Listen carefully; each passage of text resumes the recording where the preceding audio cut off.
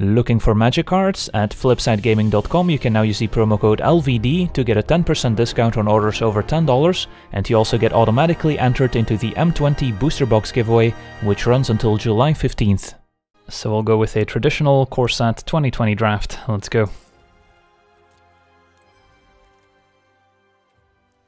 Alright, pack one, pick one. What do we have? Our rare's not amazing, Bishop of Wings. Has a little bit of synergy with like the 3 mana uncommon angel that we can realistically get in a draft. So this is not going to be an amazing card in draft for the most part. What else do we have? Flame Sweep is pretty decent. Can potentially catch the opponent off guard and give you a nice sweeper. And it's also pretty splashable with just single red. So that's an option. The Stormkin is quite good, although it does commit us to two colors right away. Uh, anything else that jumps out, the Thief is quite good, and it pairs well with the red Smuggler that can make it unblockable. If you can back this up with a ton of removal, it's great. So Thief is also great. And in green, there's like the Crasher, which is okay, but nothing too exciting. So yeah, I think the considerations here are Thief, Stormkin, and Sweep. I think they're all somewhat close in power level, and because of that, and the Stormkin being two colors, I think I'm leaning either Thief or Flame Sweep as single color cards that we can play in any deck with those colors, but we'll go with the Flame Sweep. Alright, and how about an Air Elemental? Pretty good card, 5 mana 4-4. There are a decent amount of removal spells at common that can deal with this, although 4 toughness means it survives the 1 mana red airstrike that only deals 3 damage to flyers, so the extra toughness is important. Anything else that stands out, shock is okay, so that would probably be the other consideration in this pack. The rest of the pack is not too exciting. I guess Season of Growth is also worth pointing out here. Definitely a powerful card if you can build around it enough. So in your uh, green base pump spell deck, Season of Growth is gonna excel. So yeah, I guess there's three considerations, Shock, Season of Growth, and Elemental. Shock keeps us in red, but is probably a little bit weaker than the uncommons. Air Elemental plays quite well with the Flame Sweep since it doesn't even take damage from it, and just gives us a nice, uh, powerful flyer. Personally, I would probably lean towards Air Elemental, but uh, yeah, I could see also taking the Season of Growth. Haven't really played with this card much, and it might be one of those that tends to overperform. And uh, yeah, we could still easily play like a, a red-green deck where Flame Sweep and Season of Growth are both going to be good. Alright, third pick. So what are the most individually powerful cards in this pack? Loyal Pegasus is quite good for an aggressive deck. The Troll is pretty decent if we're heavy green. And I've got the Smuggler as an excellent uh, evasive creature in red. And then I guess Scorpion's also okay. Keldon Raider's okay. Sentinel's playable. But the cards I'm looking at here are Smuggler, Troll, and Pegasus. Smuggler keeps us in red potentially for the Flame Sweep, although not the best combo with Flame Sweep necessarily. If we take Pegasus, we could potentially pivot into like a blue-white flyer stack, which could be okay. If we take the Troll, then we're probably looking at a blue-green Elemental deck, potentially splashing red for Flame Sweep. Or we could still end up in red-green after all. All three of these picks are defensible, I think. So yeah, we'll, we'll take the Troll and try it out. And then we'll see where we end up here. We're not committed to any of these colors, so the pack is kind of going to guide us towards hopefully a decent deck. And this pack is pretty weak comparatively. Uh, Apostles, playable in white, but also not like too exciting. Um, we've got Portal if we end up with a ton of Enter the Battlefield abilities. Right now we don't have any. And I guess there's like a Growth Cycle if we end up with a few, could be an okay pump spell in maybe a red green or a, a blue green deck, although then we kind of wished we had taken that uh, season of growth. And then I guess there's also Marauder's Axe as just an okay equipment that can fit into any deck. Yeah, nothing too exciting. If we had any synergy with the portal, I would maybe take it as a hedge, but we don't have anything. Yeah, Befuddle's playable, but it's kind of a random filler card that we can probably pick up later if we want it. I think I'll kind of hedge on this growth cycle, since if we do end up with two or three, I think it's actively good. As a one-off, it's not amazing, but I think it has more potential than just taking a random X, which is better by itself than the growth cycle, but the growth cycle could potentially be pretty good if we end up with a couple. Now it's probably just a Frost Lynx, probably the best card remaining in the pack. Uh, Keldon Raider would also be okay, but we're probably looking to be base blue-green anyway, splashing red, so we don't really want to take a double red Keldon Raider, And Lynx is a pretty decent card in any deck. Alright, that's another pretty late Loyal Pegasus. So not many blue or green cards we want here. Feral Invocation can be okay if we have enough uh, creatures, if we have a lot of big creatures, maybe with Trample that the opponent is going to be forced to block, then Feral Invocation can be a bit of a blowout. Best card in the pack overall, probably like either the Bone Splinters or the Aerial Assault or the Pegasus, but we don't have a ton of support for those cards right now. Could also take the Airstrike as a sideboard card. Yeah, this is the first pack where white seemed more open. I guess we had another pack with a, a Pegasus, but I've seen Pegasus go pretty late, so the bots just don't take it early, so it's not necessarily a sign that white is open. But yeah, this is the first pack where maybe we're getting the sign that white should be one of our colors although the previous packs didn't necessarily point towards that. We're definitely not committed to any colors yet, although I would like to play a blue. The green cards are maybe a bit less exciting than the blue ones. Bone Splinters could be fine if we end up uh, in black with maybe some skeletons to sacrifice. Probably going to be added best in a red-black where we have a bit of a token theme as well. Looks like people still like the Feral Invocation, stick to green. That's fair. I don't think we're missing out on too much. Alright, what do we have here? Well, had we taken the Bone Splinters, then Sanitarium Skeleton would have been a nice follow-up. Uh, had we taken a white card, we would have had, I guess, Sleep Paralysis and Tranquil Cove to consider, but now we can just take the Sleep Paralysis as a, just a fine card as a blue removal spell, there are some drawbacks to these types of removal spells if the opponent can bounce their own creature, for example, and 4 mana isn't the most efficient, but it does deal with even the larger creatures. So yeah, we'll take the Paralysis and then look to be blue-green, maybe with a red splash, but we'll see how the next packs go here. We've got some options. Three cards to consider. We've got Pattern Matcher, which doesn't have anything to match yet, but it could. It's kind of a build-around card. Uh, Vorstclaw is just a big creature, it's also elemental, so has a bit of elemental synergy as well, gives us something big to kind of work towards.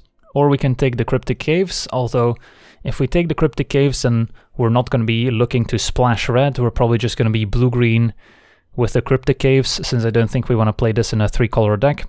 So yeah, another close decision here, and I could see a good reasoning for either one of these.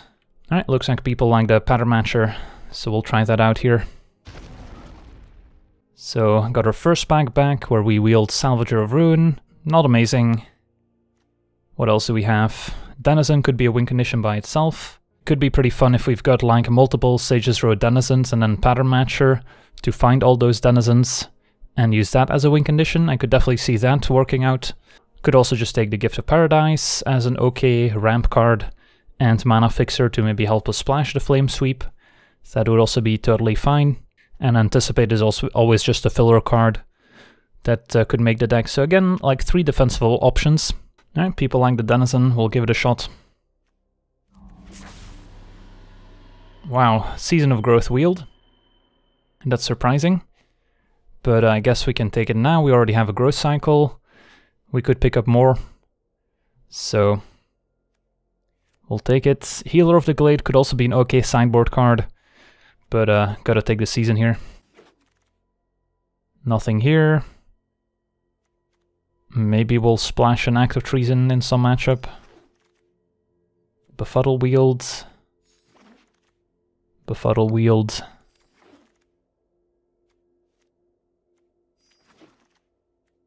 And Sanitarium Skeleton, last pick. I think this card's pretty decent. So what do we have going on in our deck right now?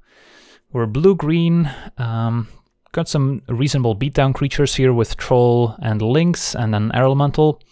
Don't have anything to pattern match yet.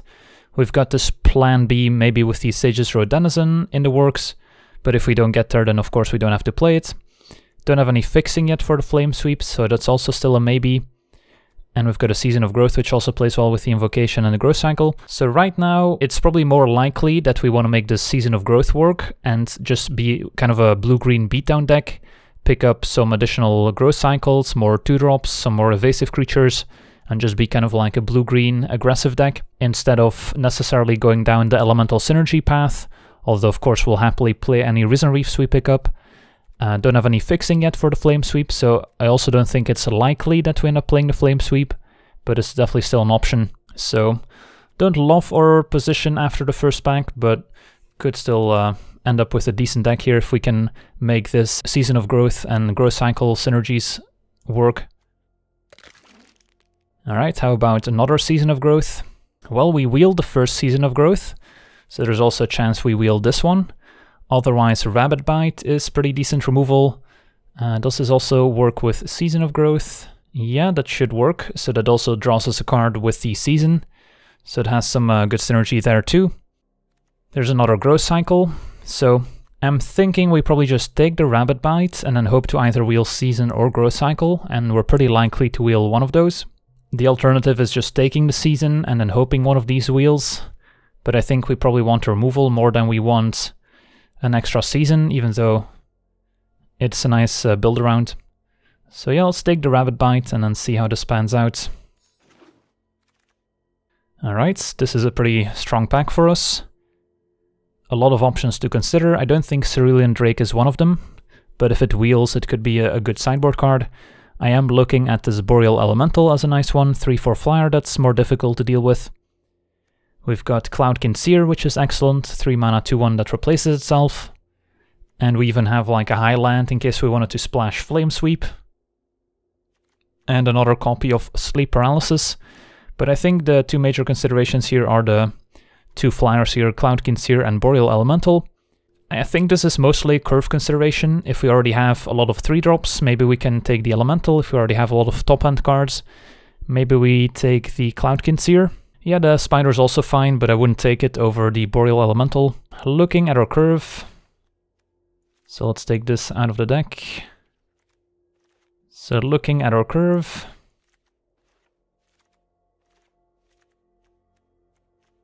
Like, we don't have much at 3 and we don't have much at 5.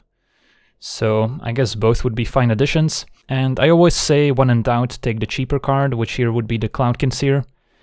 And it might honestly just be better than the Elemental anyway. So I think I'll take the Cloudkin. Alright, this is a pretty good pack as well. Howling Giant is pretty strong for a 7 drop. Adds 9 power and toughness to the board. And it has reach itself, so it usually stabilizes the board right away. Uh, Leafkin Druid would also be quite good here, helping us ramp, being an elemental for any potential elemental synergies. But Howling Giant is one of the better curve toppers we can hope for. Uh, we even have a bit of synergy with the wolves in that we can kind of pump them up with our pump spells afterwards. So even in the late game, those 2-2s are not necessarily gonna be blocked by the opponents. Yeah, I think I'm leaning Giant, even though Leafkin is also pretty strong. Alright, what do we have here? We've got a Netcaster Spider and an Octoprophet, which are both reasonable. This gives us a bit of game against opposing flyers. This gives us a bit of card selection. Um, so this is also more like a curve consideration, because they're both totally fine cards by themselves. I think I'm leaning Octoprophet over Spider. We're in blue, we already have a few flyers and reach creatures, so we're not too worried about needing the Spider. So I think Octoprophet is just a fine curve fit here. And we could take another growth cycle now. There's also another pattern matcher. Uh, don't have anything to go with the weaponsmith yet. There's a Vorse Claws, another curve topper, although we already just picked up Howling Giant. Probably leaning the growth cycle here, make sure we end up with a couple of these. Combines nicely with our Season of Growth. Alright, Overgrowth Elementals looking good. When it enters the battlefield, put a plus one plus one counter on another elemental we control. I've got a few of those, so it combines well with Cloudkin, Frost Lynx, plays well with the uh, Air Elemental, and we'll probably pick up a few more. And when another creature you control dies, you gain one. And if it's an elemental, we get to put a plus one plus one counter on the Overgrowth Elemental. So just a pretty efficient card. Uh, Sedge Scorpion would also be pretty good here. Plays well with our Rabid Bites. Protects us from big creatures from the opponents. I think the Overgrowth Elemental just has a bit more upside, especially if we can pick up some more Elementals for those Elemental synergies. Just beats down a bit harder if we can back it up with like uh, Growth Cycles or Feral Invocations. Alright, got some good options here too. Pulse of Murasa can return one of our good creatures from the graveyard, gain a bit of life. Ferocious Pup gives us two bodies in case we have a go white theme, which we don't really, but there's some cards that we could pick up that synergize with this. Don't think we're too interested in the mana fixing at this point. I don't think we're needing to play the Flame Sweep. Already have a decent amount of 3 drops, probably not playing the Denizen at this point. Pulse is more of a late game card, can get back. Maybe an Air Elemental or a Howling Giant that died. Pretty good with uh, Seer. I don't mind it. 6 life is also quite a lot, so it can help us in a race. Alright, uh, could take a Naturalize for the sideboard, but I think Tracker's a decent main deck card. Just uh, a lot of toughness, and gives us a mana sink, which we don't currently have. And Season of Growth did indeed wheel. There's also a growth cycle still in the pack. So what do we want? want kind of both of these, probably just leaning Season of Growth, and then hope to get a couple more growth cycles in the next pack. But now we can actually build around this pretty effectively. I'll take the Drake for the sideboard. I guess we don't have many 2-drops yet, so if we need one I'll play the Sentinel Alright, so the second pack went pretty well for us, picked up a nice Rabid Bite as removal, a second Growth Cycle, a second Season of Growth, and some decent creatures with the Cloudkin Seer, the uh, Overgrowth Elemental, just kind of rounded out our deck nicely, Howling Giant as a curved topper here. So in the last pack, what are we looking for? Another Growth Cycle would be nice, some good 2-drops would be nice, more Cloudkin Seers, more Elemental Synergies. Risen Reef, of course, would be a great one. And maybe something else to pattern match, since right now the pattern matcher doesn't actually have anything to go get. Nice sideboard card here. Alright, did not open a Risen Reef, did open some pretty good cards. Silverback Shaman is a good one, 5-4 trample, when it dies, draw a card. Plays quite well with all the pump spells in our deck. Boreal Elemental is pretty decent. Uh, Steel Overseer is also fine by itself. A bit of synergy with the Pattern Matcher. And then there's another Sleep Paralysis as removal. But I think we're mostly looking at the 5 drops here. Shaman versus Boreal. Given that we have so many pump spells, I'm liking the Silverback quite a bit. I don't think we're too excited about pattern matching a Greenwood Sentinel, so I'm not really looking at that, plus we're probably going to wheel it anyway. So we'll take the Silverback and then we might still get something nice out of this pack. Alright, another Rabid Bite seems like a no-brainer here, as it plays great with our two copies of Season of Growth, gives us more removal. So now that we have two copies of Rabid Bite, we're probably looking at uh, maybe picking up one of those Death Touch Scorpions, which play well with the Rabid Bite. Overcome could also be okay as a finisher, but I think given that we already have all these pump spells with Season of Growth and Growth Cycles, we're less interested in maybe Overcome, since a lot of the non-creature slots in the deck are going to be dedicated to individual pump spells instead of these mass pump spells. If we had some ferocious uh, pups that make tokens, and we had a more go white theme, then Overcome would be a bit better. Could still make our deck, but I think we want a rabid Bite here. Alright, now we're probably looking at the Crasher. Trample is a nice keyword to have when we have a bunch of pump spells. There's nothing else I'm too excited about, like we already have a tracker, doesn't get much better in multiples, and there's not much else uh, that we want, plus it's also an elemental for elemental synergies, gives other elementals trample as well, so that's relevant if we maybe have a big overgrowth elemental, or if our opponent tries to chump block elemental. Alright, and there's a Scorpion that I was talking about. Bone to Ash, not exactly what this deck wants, even though we do have a few instants that we can keep up, like this Growth Cycle, Befuddle. We have, um, what else? I guess the ability on the 4-drop here, the Tracker. So we can potentially disguise Bone to Ash or use our mana effectively if the opponent doesn't play into it. But I think Scorpion just has too much going for it given these two Rabid Bites we have in our deck. And now I'll definitely take this Leafkin Druid as a nice 2-mana ramp creature. We don't have a ton of quality 2-drops in general, and uh, don't have money in the deck. And this is a pretty good one, helping us ramp into our more powerful cards.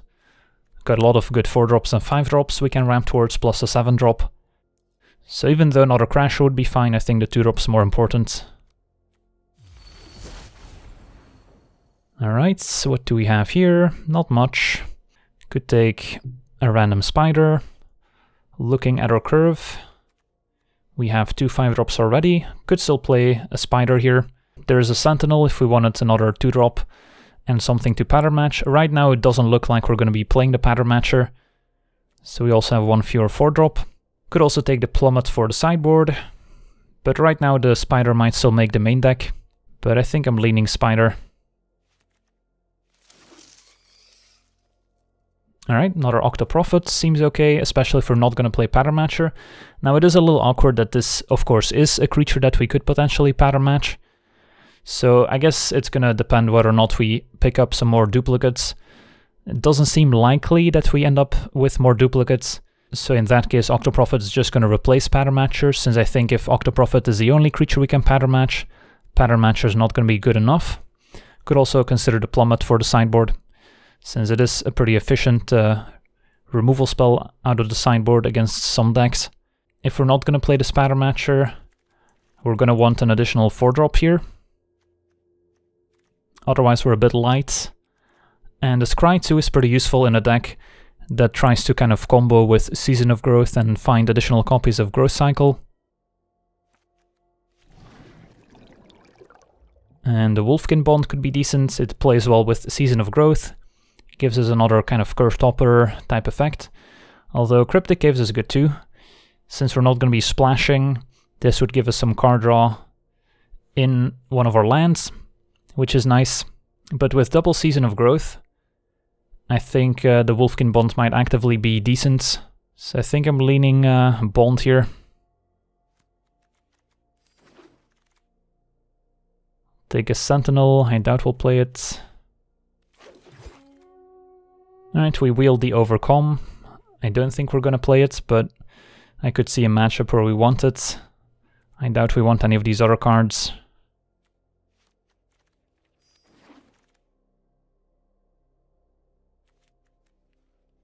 I guess a bow might be an okay sideboard card in some matchups. More befuddles. Alright, so we didn't end up wheeling anything particularly useful. Just a million Greenwood Sentinels. So the deck's okay. Would have loved to pick up one or two additional copies of Growth Cycle. But uh, I guess two copies will have to do. So let's take a look at our entire deck here. So maybe playing one Sentinel, definitely not both. Don't think we're pattern matching. Don't know if we're gonna play Befuddle.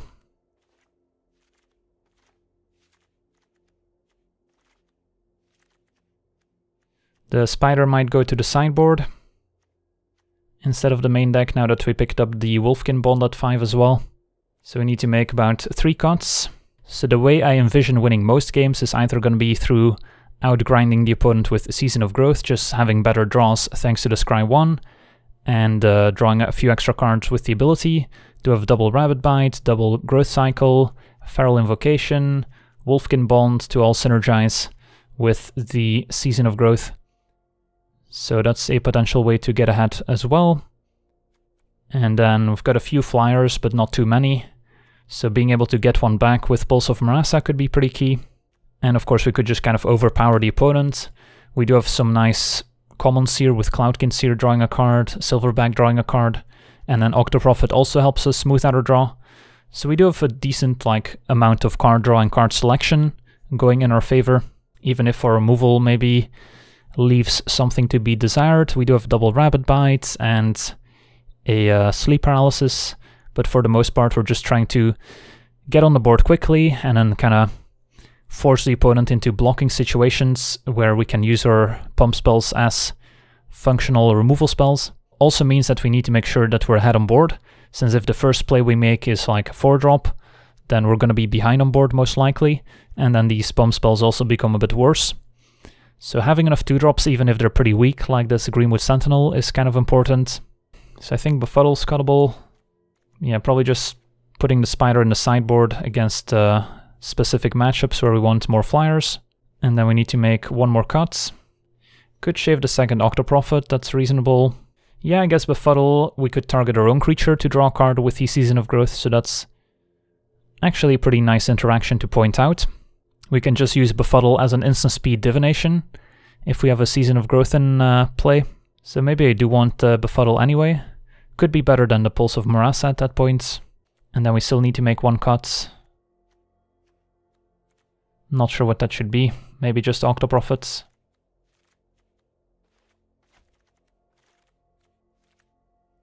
And then our curve looks pretty reasonable. And we'll play the Befuddle. So I've got Scorpion, Sentinel, Leafkin, Troll, Double Season as early plays, Cloudkin, Lynx, Elemental, Octoprophet, Tracker, Crasher, Elemental, Shaman, Bond to grow one of our other creatures, and then Giant. And our interaction is Double Bite, Double Growth Cycle, Befuddle, Invocation, and Paralysis. Seems okay. Our mana base is skewed heavily towards green since we have mostly green cards. Do need double blue for elementals, so I don't think we can go below 8 islands. But 9-8 uh, seems fine, also giving us that double green for the troll early. So I think this mana base is okay. A giant growth. I guess that's a pretty nice name. We're playing Howling Giant. We've got uh, Season of Growth, plus it's uh, a reference to the age-old pump spell. Giant Growth it is. Alright, let's go.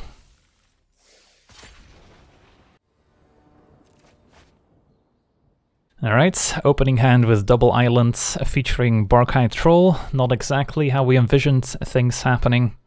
Let's go to 6. Alright, this is better. And probably put Island on the bottom. Could even make a case for bottoming the Druid.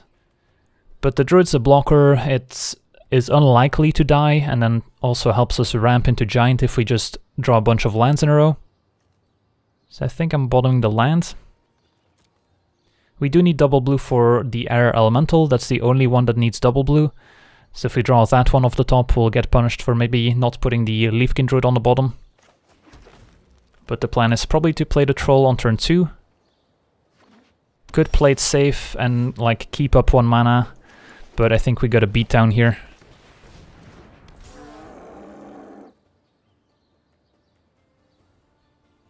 Next turn we can play Druid, keep up one mana. Chaplain's fine.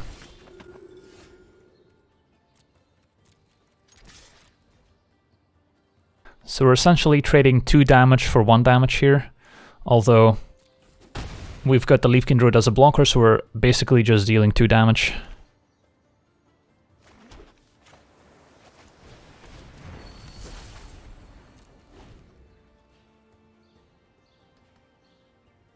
If we draw land, we can play Shaman, otherwise Octoprophet is looking good. There are a few pump spells our opponent could have, but I'm not too sad if they play one here.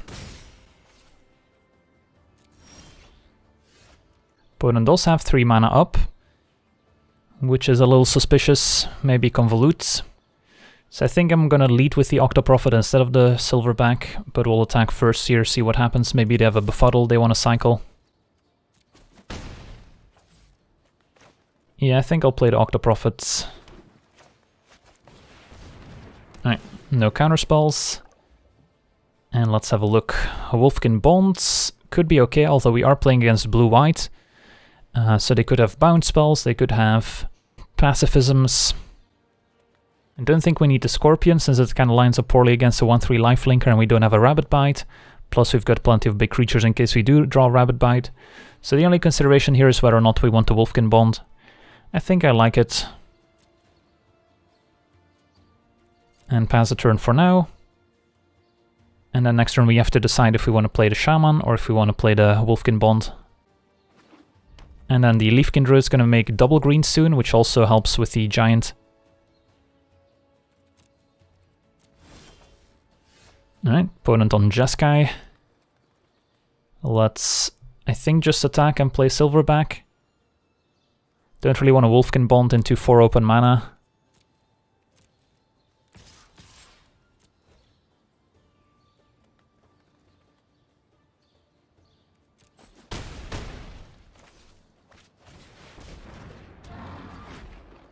Alright. Well, opponent's pretty far behind. Boreal Elemental. So probably means that they don't have a planar cleansing incoming. We're one mana short of playing Season of Growth and playing the Wolfkin Bond here. So what happens if we Wolfkin Bonds? We can put that on the Troll. Could also Wolfkin Bond the Silverback, which would make it a 7-6 here. I think I like bonding the Troll and then attack with Troll and Shaman. Can we afford to attack with the Octoprophets? I don't think so, since they could jump and then eat Octoprophets.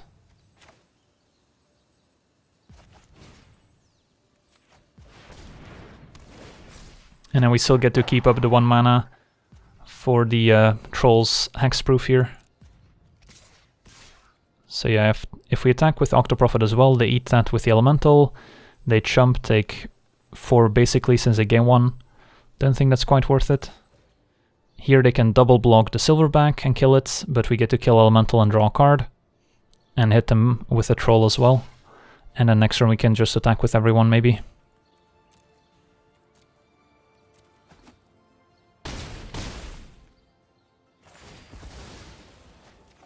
Yeah, putting the Wolfkin Bond on Silverback means that we can maybe trample over, but then the 3-3s are maybe unable to attack since the Silverback wouldn't be lethal by itself.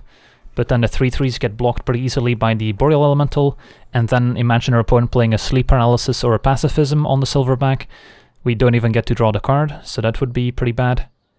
I think this makes sense, because now we also get to leave up Hexproof. We're pretty far ahead on board. And if we draw any more pump spells with double Season of Growth, we get to go off. So we could play Howling Giant here, probably attacking first, can attack with everyone. I guess a reason to play Giant first is in case we lose a creature and Druid would no longer make double green, but now we get to keep a Hexproof, which seems more relevant. They could have the the rare instant that makes two 3-3s, that's probably like one of the worst case scenarios, but even then, it's not too bad. Outrage, that's fine. So they would survive here. And Outrage could have been a reason not to attack with the Wolf, since now they get to gain 1 instead of having to chum block the Troll. But they do go down to 1 life. So they're still in a pretty bad spot. Now, do we tap out for this Howling Giant? I guess we can't anymore since we lost a creature. So we'll just play Season of Growth times 2.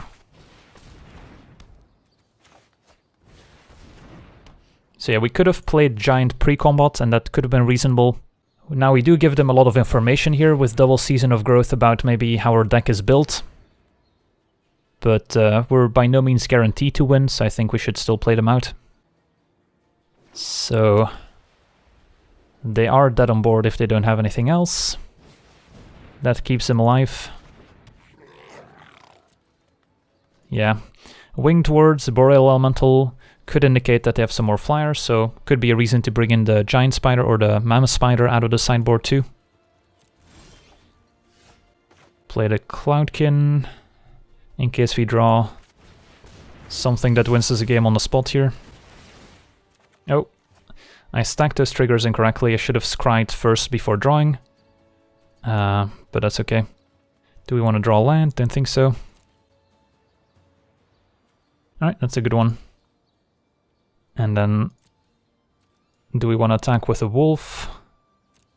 That would trade for the bird grabber, and then this wouldn't make double green anymore. Although we're probably playing the growth cycle next turn anyway. I think I'd just attack with a troll. Opponent jumps with bird grabber. Also, let's say they did have a pump spell for the chaplain. Then that would gain him a ton of life. So maybe the attack with the wolf would be bad.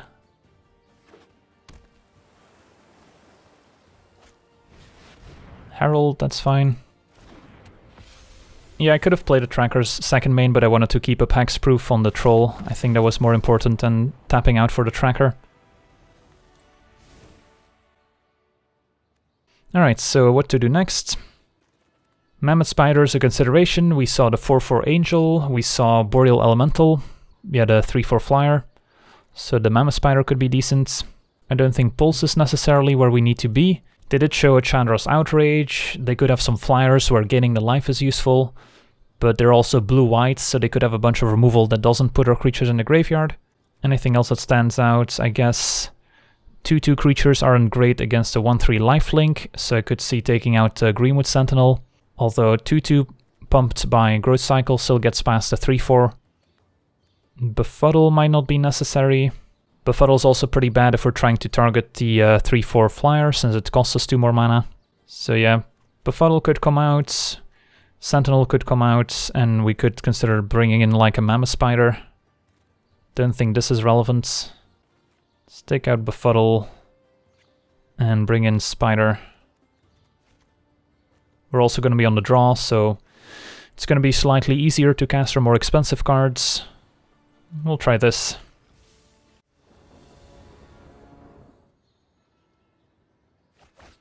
Alright, this is going to be a mulligan. And this is not a great hand, but I guess we'll keep... We also mulligan on our previous hand and still got there, so hopefully our draws are generous.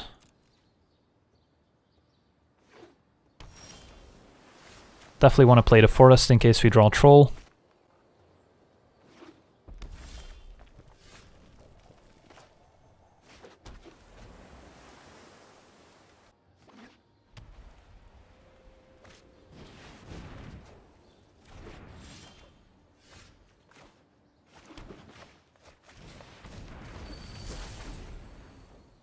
So next turn we could play a Mammoth Spider. Drawing a Season of Growth would be nice, as that's one way to get back even in uh, terms of card advantage.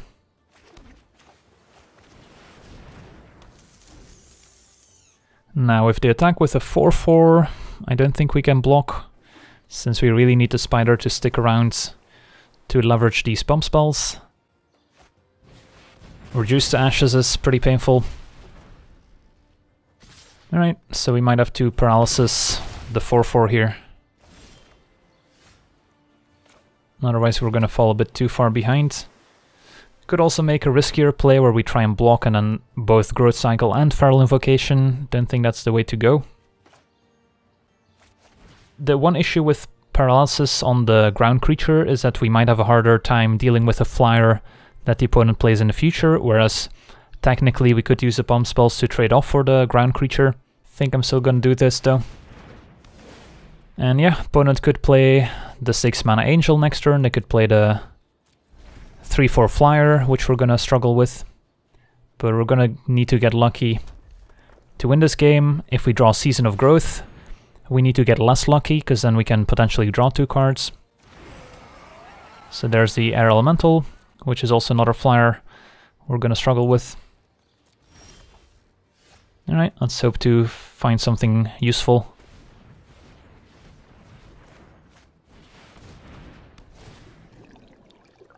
Alright, well, how close are we to casting this? Three, four, five, six.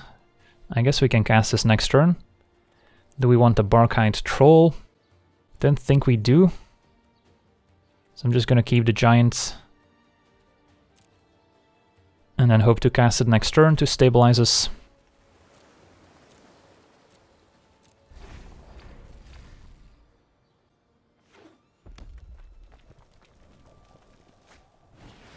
Angel, alright, that's fine. So if they can deal with our 5-5, then we're still fine.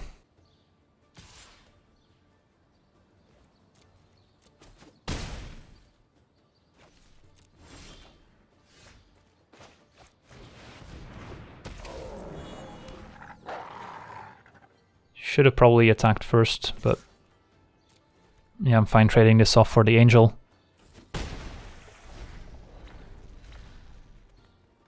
At 11 life, I don't think we're going to be able to race the opponent if they kill the giant here. Oof. That's brutal. Well, they had two pretty nice answers here for our reach creatures. But uh, Mammoth Spider was definitely a good sideboard card here since their opponent's got a ton of flyers. So we're taking 7. And yeah, we're nowhere close to dealing lethal on the way back. Not sure what we can draw to get out of this. Land's not gonna cut it. So yeah, we're just dead. Don't think I want to show them any pump spell. So yeah, we could kill both if we cast the invocation. Is there any reason why our opponent wouldn't attack with the two flyers next turn? I can't think of any. So I don't think I want to show them any additional cards.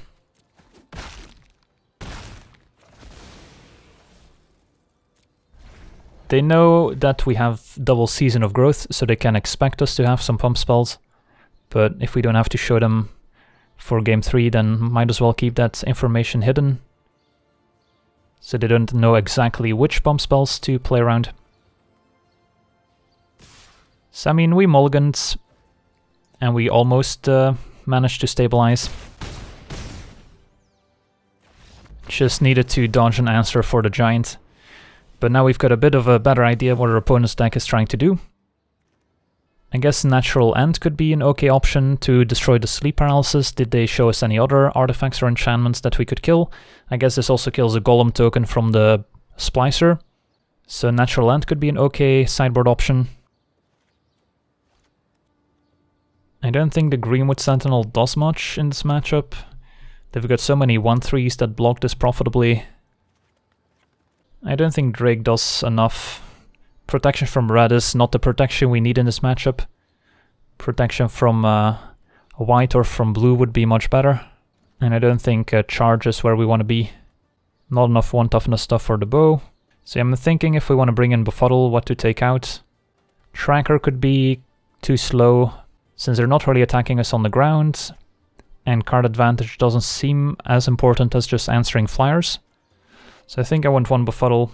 Overcome could also be okay for trying to race, but I think we just took out a few too many creatures for Overcome to be great. It's only good if we play Howling Giant first, so I think we'll try this. Alright, we've got a keepable opening hand. Scorpion into Season into hopefully Feral Invocation draw card. Could be a nice sequence.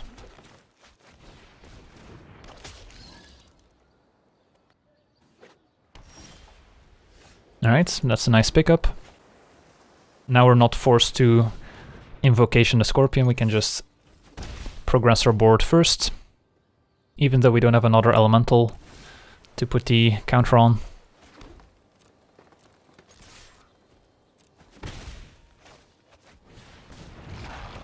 And we get to Scry.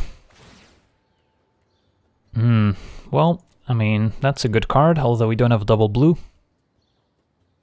Can we realistically bottom that? I don't think I can. We're gonna draw an island at some point. Next turn we can Invocation. Hopefully after the opponent blocks.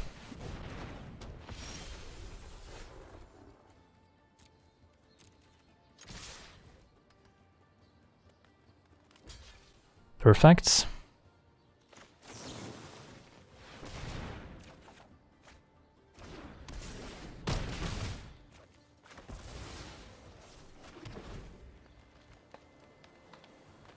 So, still at the very least got a 2 for 1 out of the deal here. So let's see if they have the sleep paralysis. Aerial assault instead. Alright. Hmm, no island, that's a bummer.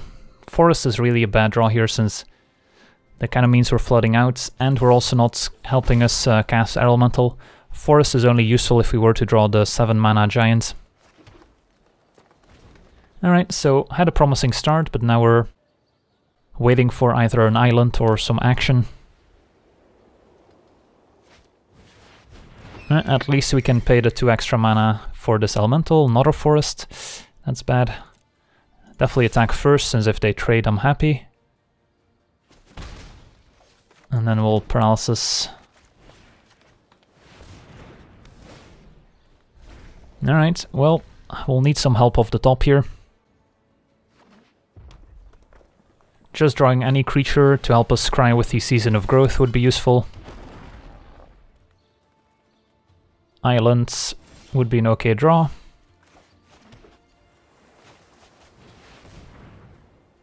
And now we can scry towards some more action.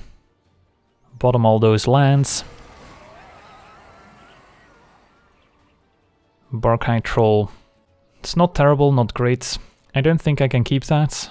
Just doesn't do enough by itself even though it helps us scry with Season of Growth. I mean, it's definitely better than a land. I don't think this is quite gonna cut it.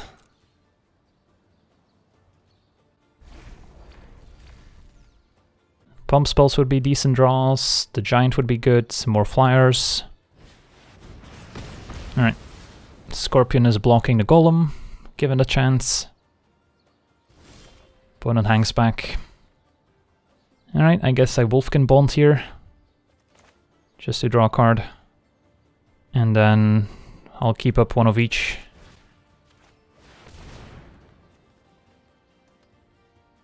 Not much interaction they can have for double whites. Alright, stringing together a bit of card draw here.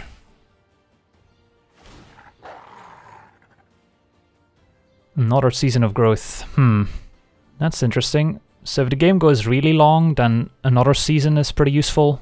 So here we kind of have to evaluate how long we think this game is going to go. If we think it's, it's going to be decided in the next couple turns, we don't want it. If we think the game is going to drag out, then I think it's worth uh, keeping. I think we probably keep it. Yeah, I could not play the Cloudkin yet to get an extra Scry. Since now we aren't really taking advantage of a Scry. We miss out on a 2-powered flyer, which can maybe get a few attacks in but waiting to improve our card's selection drastically could actually be worth it here. So I think I'm gonna pass and then just play Season into Cloudkin next turn, which will let us cry twice before drawing.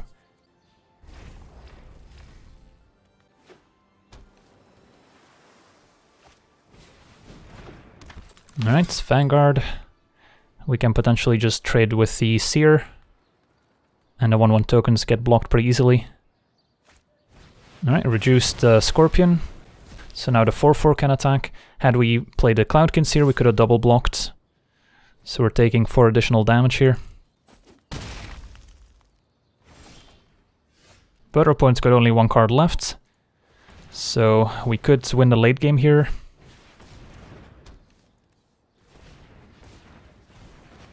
Uh, let's make sure to stack these triggers correctly both scries before drawing. We could also like scry, draw, and then scry.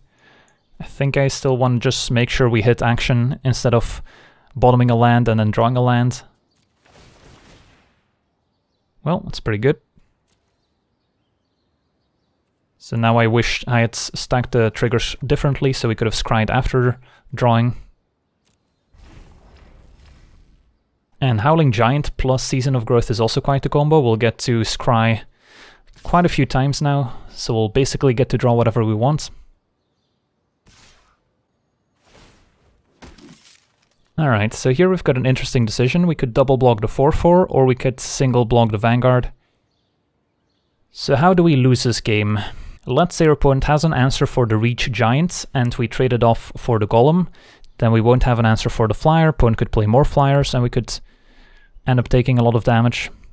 Although if we trade Vanguard for Cloudkin, then we're taking 4 now. I guess the upside here is also that we get to eat the Soldier token for free. So I think this makes a little bit more sense, since next turn presumably the ground is going to be stabilized by the Howling Giants if they don't have a counterspell, so the Golem's not going to be too impactful. That's totally fine. I'm actually surprised they didn't save the Flyer. Alright, opponent's empty-handed. This Giant's going to stabilize the entire board. And let's see, does this matter? I guess it doesn't. So we get to scry, bottom all those lands, bottom, get some more scries, bottom, bottom, well, we would have drawn quite a few lands here. Octoprophet, now that's interesting. So we've got two more scry triggers coming up. But we also have a Leafkin Druid to scry. I think I would rather dig towards some pump spells to draw cards instead of just scrying more.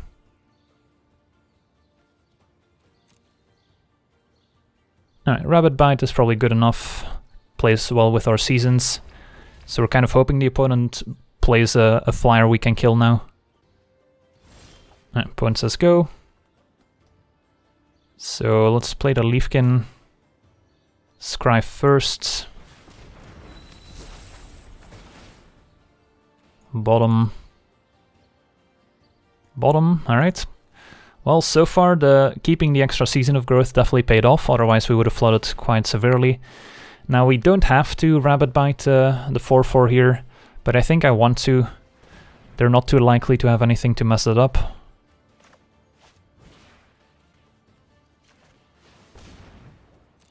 And draw two cards. Alright, silverback is good. And then I can attack with the 5-5 as well. Could also attack with the wolves, they can double block one with the chaplain and a 1-1, which isn't a great trade. But I guess that gets rid of some creatures. And the other wolf can get in there. I think I'm fine attacking with all. And playing a silverback.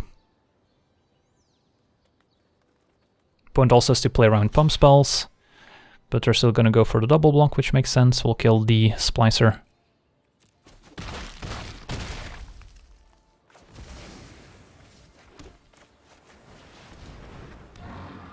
Scry some more. Seems fine.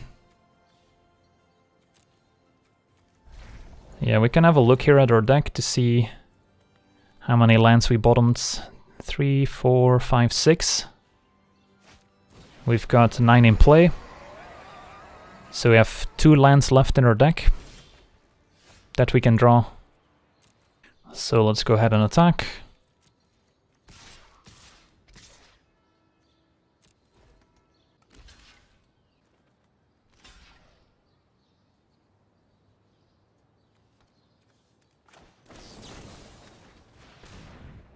Draw two cards. Alright. No target for the natural end yet. Opponent just scoops it up. We even had Befuddle here that we could have used on the Elemental as well. Or we could have used it on our own creature to draw three cards. Opponent packs it in. Well, that was a pretty interesting game. The Mulligans couldn't defeat us Alright, decent looking hands, except that we don't have double green for Troll, but I think we still keep. We could get lucky and draw Forest, and we at the very least get to play Lynx and any land gives us Crasher. So definitely lead with the Forest here.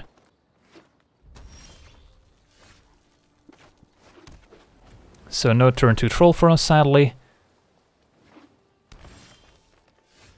I guess uh, turn 3 Troll will do, we get to keep up protection, so in a sense, we're also playing around our opponent having removal.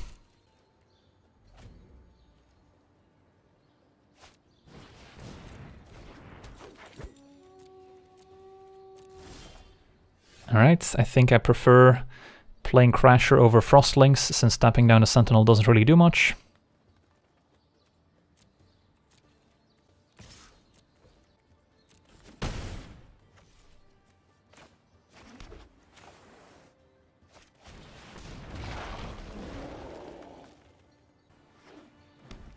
Opponent on red-green, they missed their third land drop.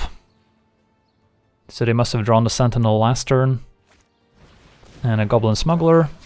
So they can hit us for two if they make Sentinel unblockable, which is fine. So next turn, we could Rabid Bite, we could Frost Lynx. I guess Lynx plus Scorpion makes sense. Alright, they're gonna hang back. Now I guess we can just play the Shaman. Opponent could double block the Troll, and we would trade Troll for Smuggler. Isn't an amazing trade, but still like a reasonable. And then Shaman is going to be hard to deal with for a red-green deck, unless they've got the reduced ashes, but then they still need to hit some land drops. So yeah, I think I like attack with both, trade Troll for Smuggler, deal 4, play Shaman. The alternative of Frost Lynx would also be okay, but I think Lynx is going to be more impactful after we drop the Silverback Shaman. Just make it very difficult for the opponent to double block. Imagine having Feral Invocation here giving plus 2 plus 2. That would have been a blowout as well.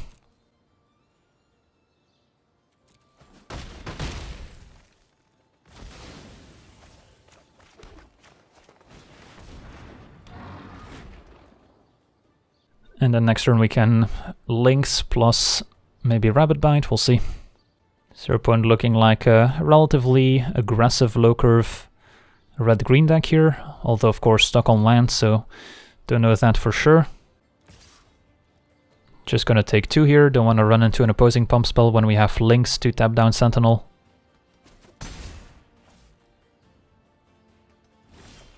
Opponent's just gonna hang back, so probably keeping up a pump spell to try and block one of our creatures.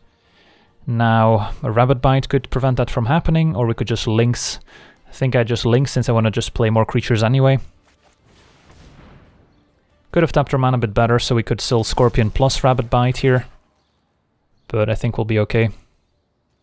Since I'm probably not gonna Rabid Bite this turn anyway. Just hit for 9.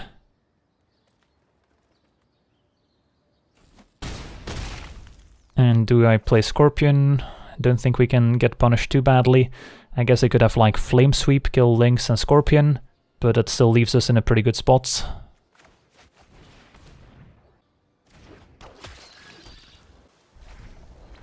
No Flame Sweep end of turn, so they seem pretty dead.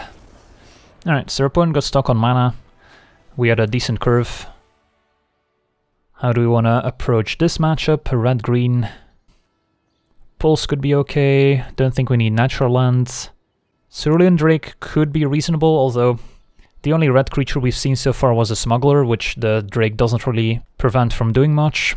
And the green creatures are uh, still going to be an issue. So I don't think Drake is what we want, unless we see some big red creatures instead. Plus the big like red creature, like the 6 drop has Menace as well, so the Drake doesn't really stop it.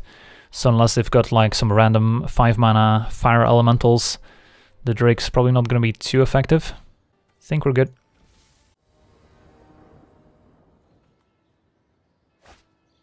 And seems reasonable. Turn to Season. Just need a third land and we're off to the races. Two cards that synergize with the Season as well.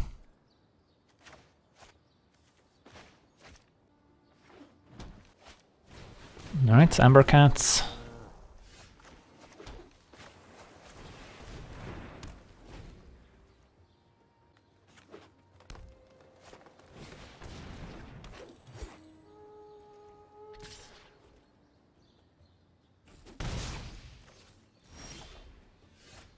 Alright, Greenwood Sentinel, so what's the play here? Just Frost Lynx, tapping down, Probably the Amber Cat to prevent ramping. I'm okay trading Lynx for Sentinel, I guess.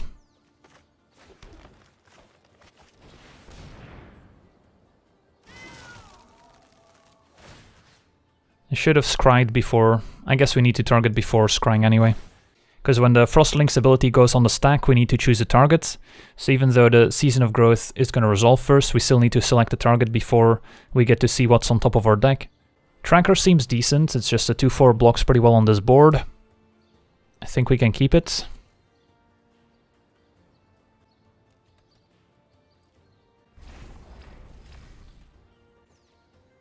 Opponent attacks. Of course, our opponent could have their own pump spells, which would make blocking bad. So I could also see just taking two here, since we've got our own pump spells to combo with the Frost Lynx. Yeah, I'll just take two. And then I think the plan is attack with Frost Lynx, unless they play good blocker. Play Crasher. Alright, they've got their own Crasher. And I don't think we can afford to block in their turn if they attack with all. So we could play our own tracker, we could play our crasher here, I think are the considerations. Could also attack with the Lynx if they block, we can feral invocation. I think I'd rather just play crasher, see what they do, take a big hit, and then next turn we can keep a befuddle and all the other interaction. Think land is fine, lets us Rabid Bite plus befuddle. Eventually we'll have to get more mana going. So hopefully they can't kill the Crasher, otherwise we could be in trouble. But if they just attack, then uh, we'll be fine. And Dragon's fine too. Alright, so our opponent probably doesn't have any pump spells. So we'll just take four. Another Sentinel. So I think I like using Rabid Bites, killing the dragon, and then keeping up Invocation and Befuddle.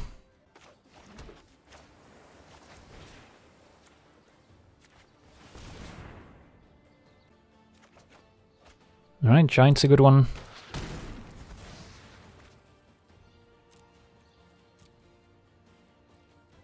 And then next turn I can put the Crasher in front of the Crasher, and hopefully befuddles enough interaction to uh, save our Crasher.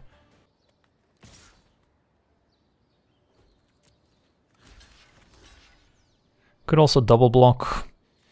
Um, I guess that's fine. If they have a plus two plus two, then double blocking would still kill the Crasher at least. And we also don't take any trample damage, so it makes sense in the grand scheme of things to double block as well. Now if they have two pump spells, things could get messy.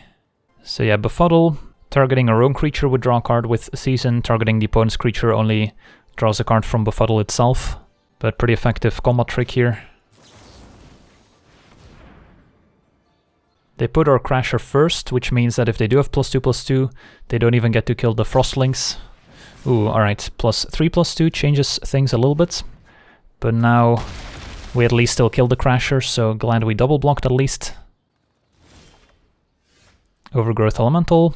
We can play Tracker to kind of stabilize the ground. We could play Season of Growth plus Feral Invocation to draw a ton of cards. Or we could go Overgrowth plus Season, but these don't block really well in the face of the Greenwood Sentinels. So I think I just play the Tracker for now. Alright, I guess you're right. The Overgrowth Elemental would put a counter on the Frost Lynx, making it a 3-3. So I guess it would have been fine. Yeah, sure. I kind of want to hit my land drop so we can eventually get to Howling Giant, but can't go wrong with a, a free 2-1. Yeah, playing Overgrowth Elemental might have been slightly better, since then we could have dropped a Season of Growth as well. But 2-4 uh, is still a pretty good blocker here too. Alright, opponent's got infinite Greenwood Sentinels. So a 2-4 lines up pretty well. So now I'm thinking we want to play Cloudkin plus Season, and then next turn grow the Seer with the uh, Overgrowth Elemental. So now we get to Scry twice, and then draw with the Cloudkin. Or we could do the Scry 1, draw Scry 1 again, which maybe is better. I kind of want to just draw land here. So I'll do scry 1, draw scry 1. Yeah, land seems fine. Forest would be slightly better, but we can still play both green spells with just two forests in play. We'll draw the land, and then we can scry additional lands to the bottom, unless we want to keep lands to cast the Howling Giant. But we'll probably draw a seventh land at some point. Rabid Bite is great, so we'll keep that. Play land, say go. Alright, so we're in pretty decent shape here. Now if our opponent has Overcome, giving all their creatures plus 2 plus 2 and trample, we could be in trouble, so that's the primary card we want to try and play around here. Smuggler we can kill thanks to a Rabid Bite. So they get in for 2. Do we want to grow the Cloudkin Seer or do we want to grow the Frost Lynx? Maybe we actually grow the Frost Lynx in case they kill the tracker, so we have an additional blocker that lines up well against all these 2-2 creatures. And I'm not too worried about winning the long game, so even if we don't speed up our clock as much, it's not a concern. So I think the player is going to be Elemental, pump Frost Lynx, and then we can Rabid Bite, fighting with probably the tracker on the Smuggler. Or maybe the Frost Lynx. Don't know if it really matters. And then... Uh, yeah, we'll put the counter there. Scry twice. Kinda want to draw 7th land eventually, but we don't need to keep it on top necessarily. I'm sure we'll draw land at some point. Although the Giants is the best play we can make against an opposing Overcome. So getting the Giant in play as soon as possible could be worth it. Think I'll still bottom for now.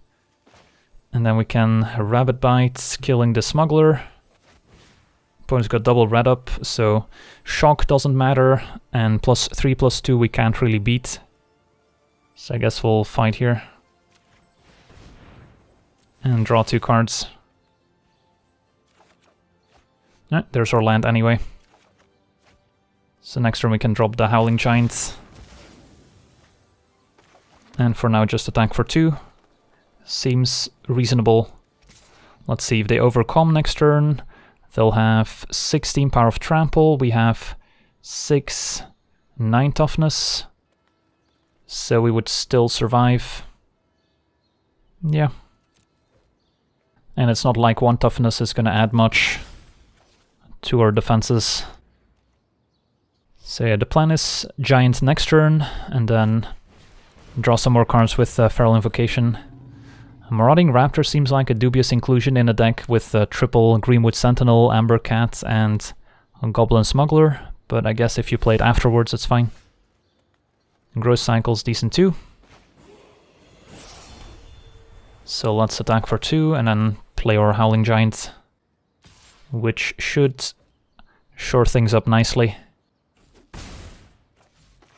Can't keep up uh, Growth Cycle here.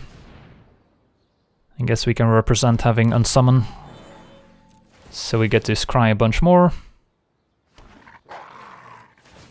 Basically draw whatever we want here.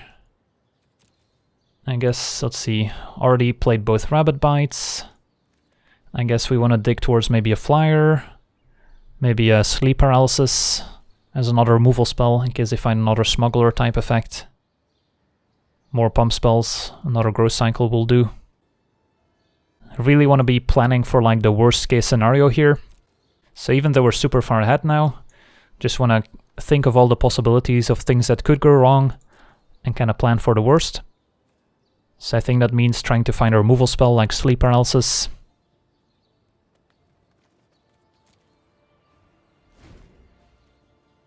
Alright, and now with all these pump spells in hand, we can pretty easily have some good attacks. There we see Ripscale Predator. So this is the one I mentioned where the Cerulean Drake would not necessarily be a great blocker since this has Menace and we would have to double block it. Alright, well, double growth cycle's pretty good here. Let's see, if we attack with everyone, do we present lethal in any way, shape or form? Want to make sure we don't die on the way back. Opponent's got 5, 6 blockers. We're at 10. The thing is, if we keep back blockers, we need to keep back at least 2 for this Ripscale. Could be okay to send everyone. Yeah, I think I send. I don't think our opponent can survive and present lethal on the way back, given our hand. And if we can make them like trade creatures, so a top deck overcome is less devastating, I think we should go for it.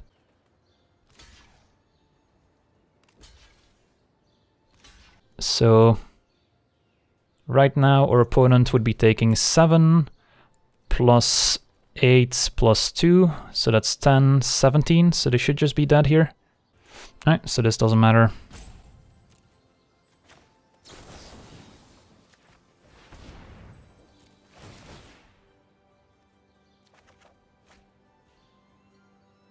Just need to make sure not to tap our uh, additional green mana.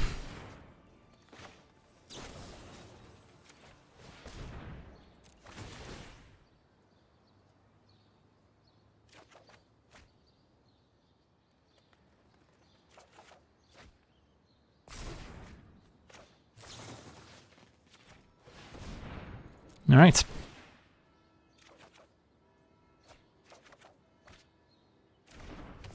Bam.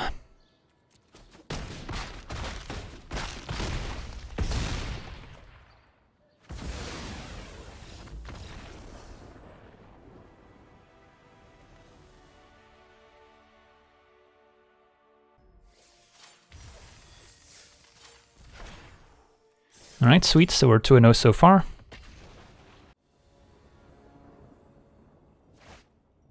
Alright, so we're on the draw with a decent opener. Again, missing the double green on Troll, but this will do.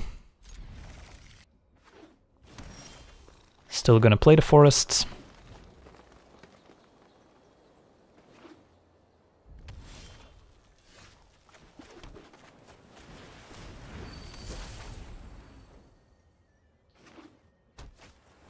Uh-oh. Turn 3 Risen Reef. I guess we're in trouble. Probably just play Cloudkin Seer, and then next turn we can Overgrowth Elemental.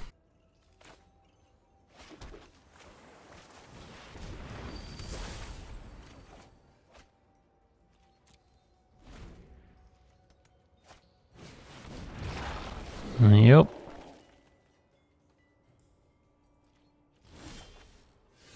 Yeah, it's gonna be hard to beat uh, card advantage from the Risen Reef, but we'll try. So now we could play Air Elemental, or we could Frost Lynx a Crasher. Playing Elementals is just so much more mana efficient that I think we should try, even though we can get punished by Rabid Bite, opponent could have Reduce to Ashes, they could have Paralysis. I guess the alternative is going 2-drop plus 3-drop, uh, which would also be okay, and doesn't line up as poorly against one of those big removal spells. And I think I Overgrowth instead of Lynx, they might have bigger creatures later that we need to Frost Lynx.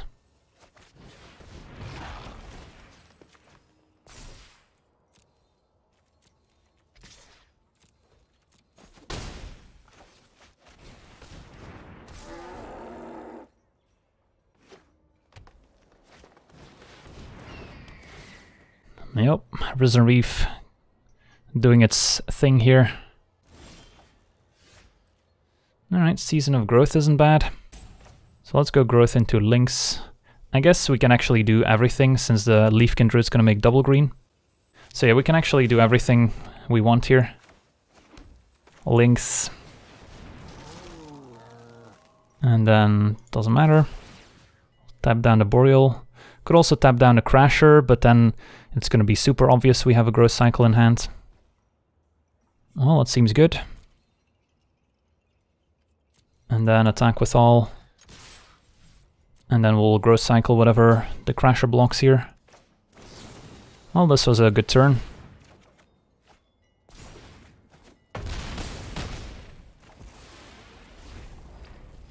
So we're just trying to tempo them out. Gifts, that's fine. Alright, Crasher can give Trample which could be relevant. Opponent's got 3 mana up, so going for Wolfkin Bonds could be slightly risky. Although if we target the Barkhide Troll, then it has Hexproof in case of any unsummons, although then it doesn't have Trample or Evasion. Could also be fine to just attack with everyone, play Air Elemental, and have another big flyer for this Boreal Elemental next turn. And then we can even give a Trample with Crasher next turn as well. I think I like that the most. So yeah, let's just attack for now.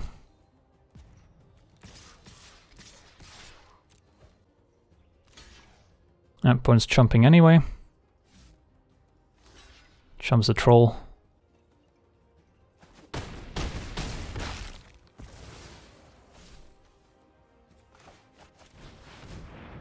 Do they have the convolute? They don't. Well, it seems pretty good too. Leafkin Druid gives us a mana to cast it. Well, looks like we might have a chance to beat turn 3 Risen Reef into double elementals. Ooh. Well, I take that back. Well, not much we can do about this.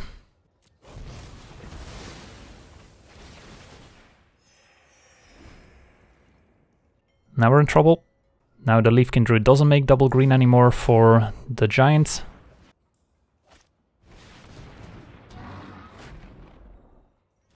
So unless they have Unsummon in hand, this Wolfkin Bond on Air Elemental is pretty strong. If we want to play around Unsummon, we should just attack first and then play Crasher. But it's so good if they don't have Unsummon here.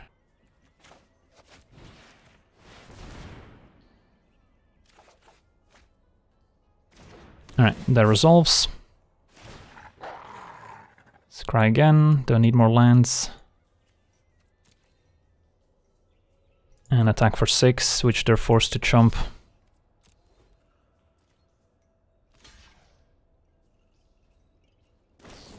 Alright, they did have the pump spell.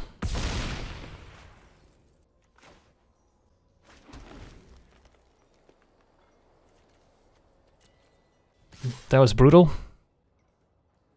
Let's flame sweep into the growth cycle here.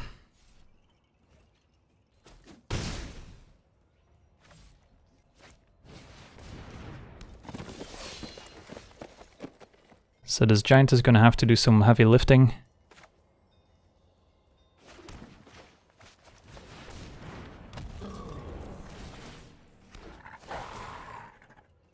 Another Season of Growth. Now I don't think we want to keep it, since I'm looking for additional pump spells instead. Uh, Rabid Bite would be good.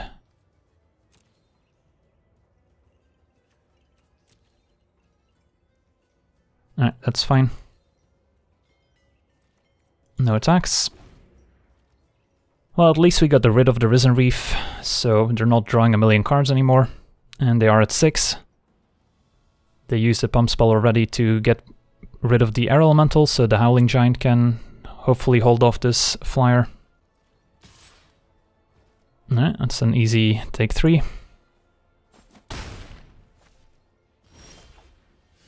And then now we don't have any elementals in play, so there's no real point in playing Crasher unless we want to scry first from the Season of Growth, which I guess is also irrelevant, so we scry first before drawing with Growth Cycle. Although let's say we draw into another Growth Cycle or a Befuddle, we might not have the mana to cast it afterwards. So I think it's correct not to play a Crasher first. And then how do we attack? Probably just send everyone, see how they block. Oh yeah, we already have a growth cycle in the graveyard, so this one's plus 5 plus 5. Now of course our opponent has a million mana up, they could have all sorts of interaction. Another flame sweep. Jeez. Can growth cycle to save a wolf. If we growth cycle the giant it's a 10-10, but they can still trade it off. So I think I do growth cycle a wolf in response here.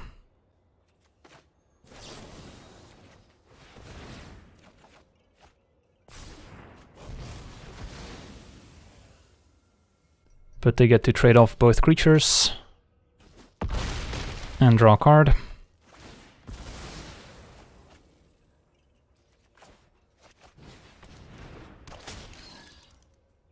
That seems good enough.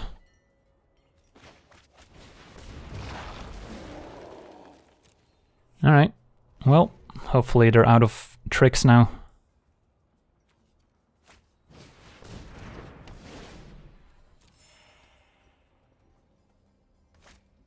No. We needed that pressure. Still gonna have to use this. Well, this game's uh, been a lot of back and forth.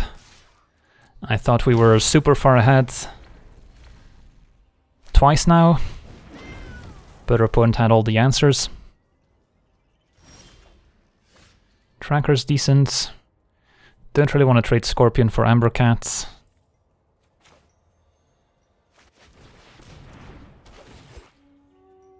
That's fine. Could even put an upkeep stop to draw into the silverback, but we're probably better off just playing it after drawing it here. Well, at least that's reduced, that's not killing the silverback, preventing the card draw.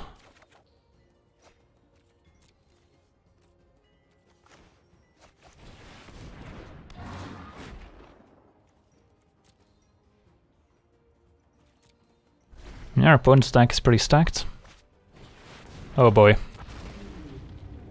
Well, got a top deck a Rabid Bite now.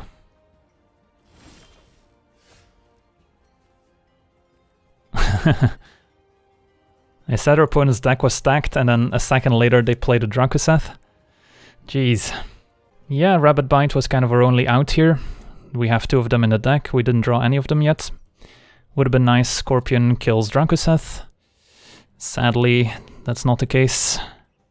And next turn Drakuseth is just lethal, so I guess we'll have to attack and then hope to draw into something with uh, the Silverback. Now the problem is, I think my only out is Rabid Bite. So I think I'm supposed to attack with the Silverback only, have it die, and then draw into Rabid Bite to fight Drakuseth with the Scorpion. Because if I attack with both, then I can block Scorpion with Embercat and Rabid Bite is no longer an out. Taking it would be risky from their perspective if we have a pump spell. Yeah, opponent takes it. Well, that's too bad. Almost beat the Risen Reef. Then we got uh, Flame Swept. Then Giant seemed to be doing the trick, and we got Flame Swept again. And then we seem to be uh, stabilizing here and taking over, and then Drakuseth happened. So opponent's got a lot of uh, dragon-flavored bombs.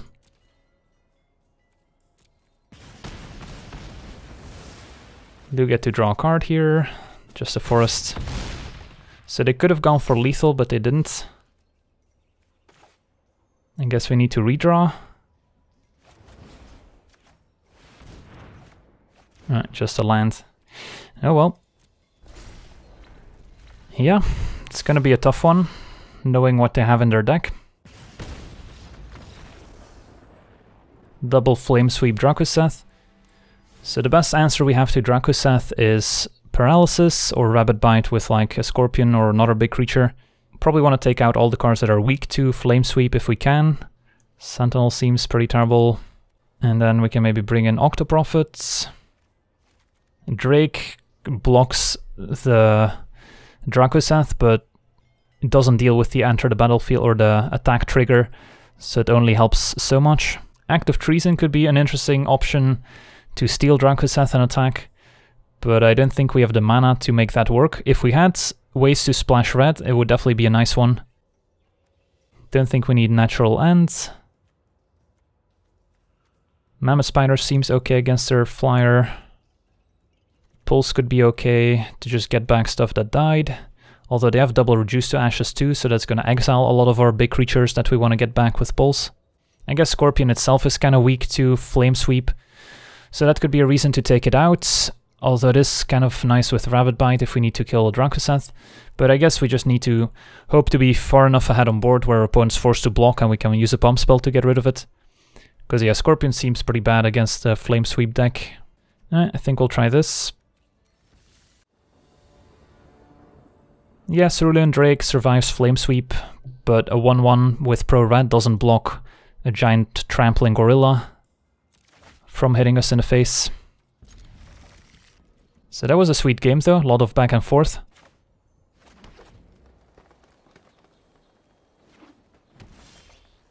If it weren't for the dragon, we could have been uh, victorious.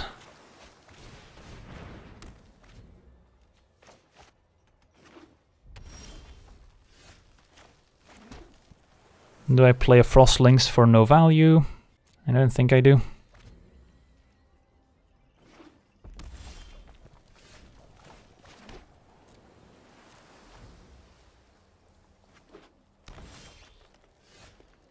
Well, we could have gotten in quite a few attacks now already. I guess I'll play it now.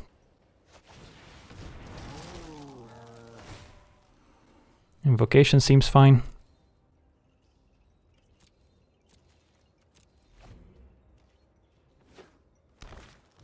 And there's a silverback, as expected.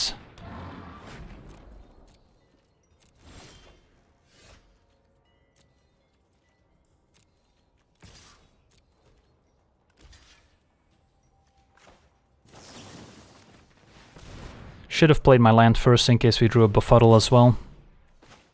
Might have wanted to befuddle instead of cycling.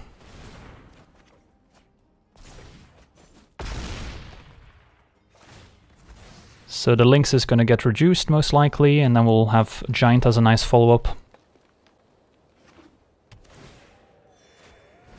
Ah, Spider. It's fine too. Let's see if they block. Ah. Still gonna play the Giants.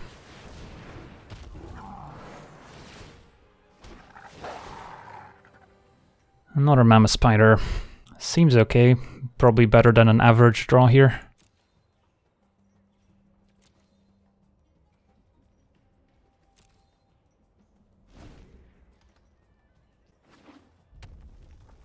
So we're hyper aware of Flame Sweep. Opponents got their own Season of Growth into reduce.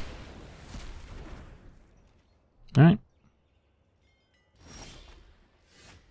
I think I send everyone.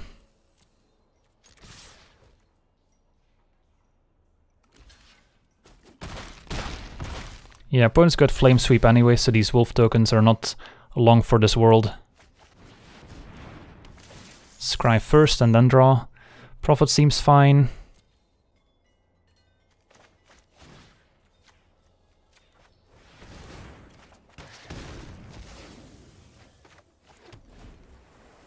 So we want to keep paralysis for Drakuseth as much as we can.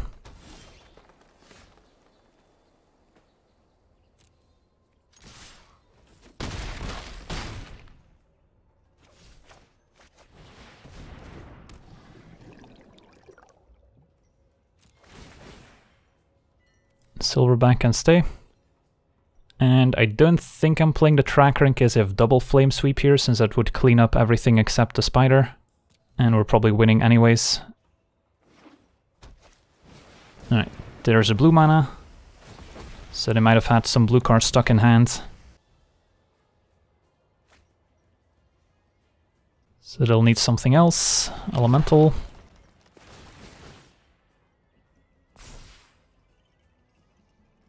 Pumps the Risen Reef. So as it stands, if we tap down one of their blockers, they would still be taking at least 8. Alright, they've got their own Rabid Bite, so they should be dead here. Although never mind, I guess they fall to 1, but they're forced to chump, which is still a pretty good spot for us to be. Want to make them chump with a Risen Reef instead of the Elemental. So let's uh, Paralysis.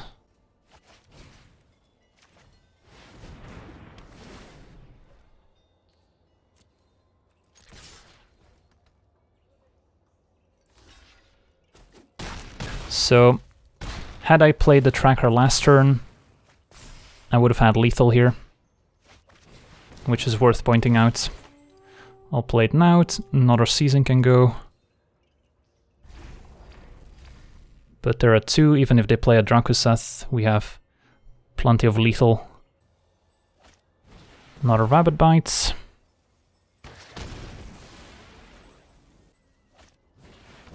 Gifts up to five. Well, they might actually be stabilizing here slowly. Cantrips the growth cycle. Alright, hopefully they're dead.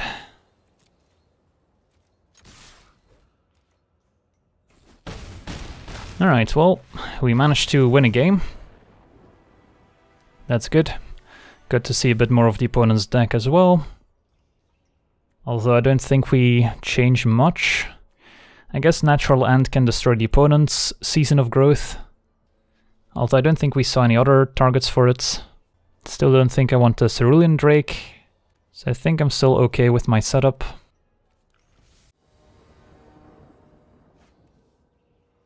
I guess our disenchant also has um, Gift of Paradise as a target, although that's not a great target necessarily.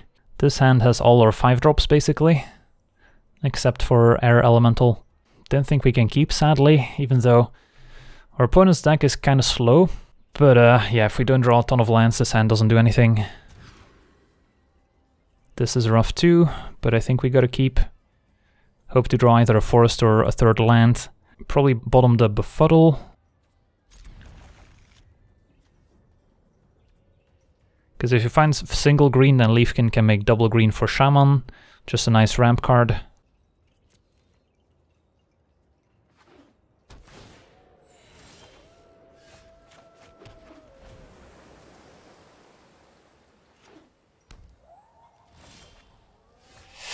Alright, gonna need that land soon.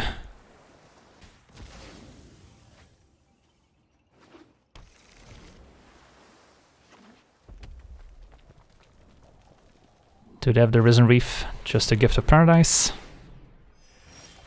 Alright, just in time.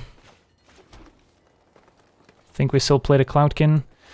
Because if we play a Leafkin, we're not even guaranteed to be able to play the Silverback next turn. Opponent's got their own Silverback.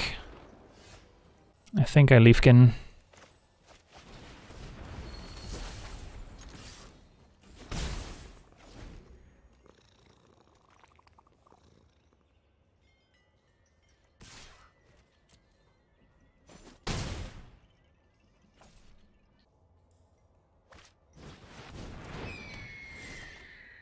Not a rabid bites.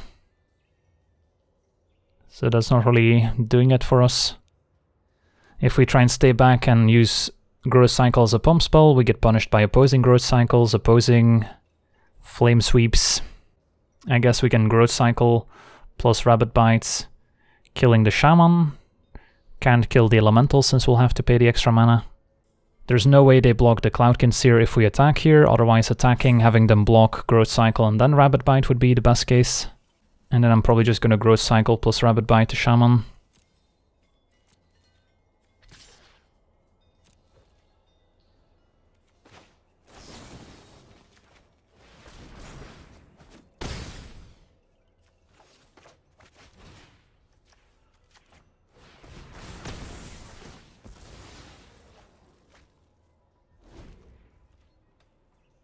But yeah, we're super in trouble if our opponent has any good follow-up.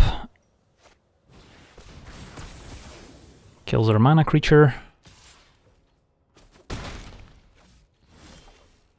Alright, well, I guess we'll play this. Could also attack first if we fear they have a Flame Sweep in hand, which they could easily. In which case we at least get in 2 points. If we Elemental first, then we get in no damage. I guess 2 is better than 0. 3 is better than 2.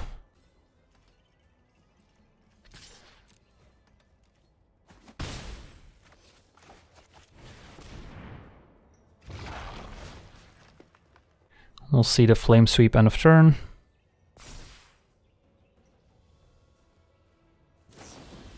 just a Pulse of Murasa, still pretty good here, gaining 6, getting back the Silverback. We're pretty far behind. Dragon 2.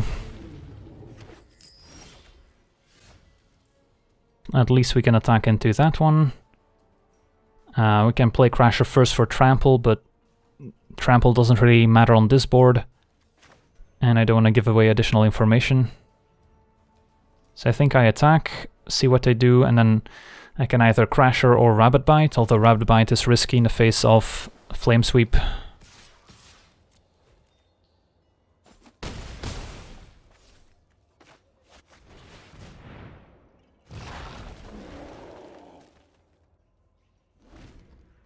Opponent on taps. And yeah, we're just dead. Oh well, we tried. Bit of a rough mulligan in the last game. And uh, we got uh, Drakuseth in the first one. Oh well, still lots of uh, close games there, so let's see if we can get a couple more wins.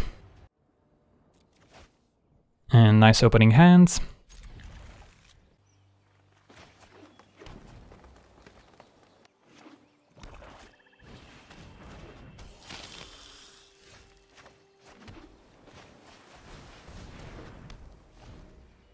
Alright, land would be nice.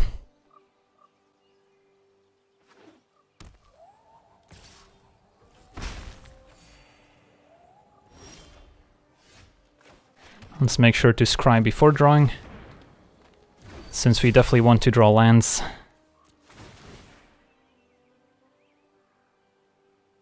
Hmm, don't think I want the Crasher. Alright, more rabid Bites. So, not gonna trade here because Rabid Bites lets us easily get rid of this Vampire.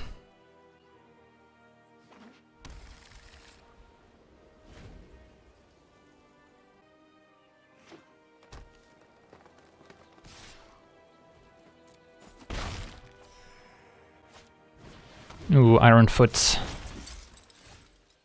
Alright, so I think I might actually want to do the growth cycle plus Rabid Bite trick to get rid of this Warlord. Since this is kind of a long-term issue, plus it also just uses our mana efficiently this turn. So let's cycle.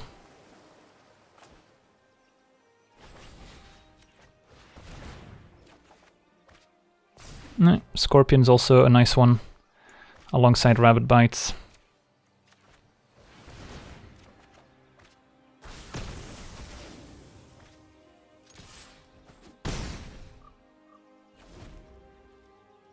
Next turn we get to play some nice 5 drops.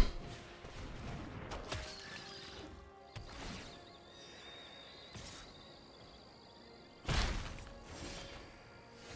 think we'll lead with the Silverback. It's kind of close, because the Silverback doesn't really attack into the Death Touchers on the ground all that well. Could also just play the Wolfkin Bond here, and the only card that really punishes us is like a Disfigure. And we could just Wolfkin Bond, make a 2-2 on the ground that blocks profitably, and attack. Yeah, let's go for it anyway.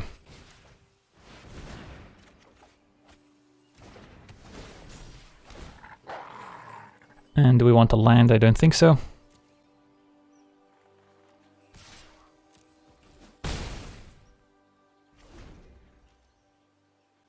And this 2-2 Wolf just lines up much better than our 5 drops would on this board, facing all these Death Touch creatures. Happy to block. They could have a pump spell, I think that's fine.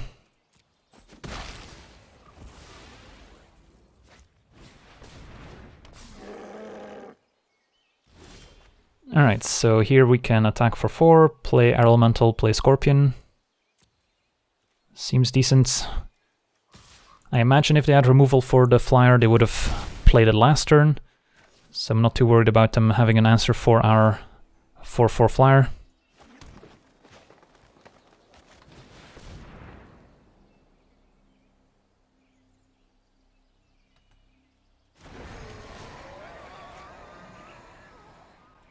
Another Season of Growth. I mean, it kind of replaces itself with a rabid Bite just by itself, so I think we can keep that. Make any future pump spells even better.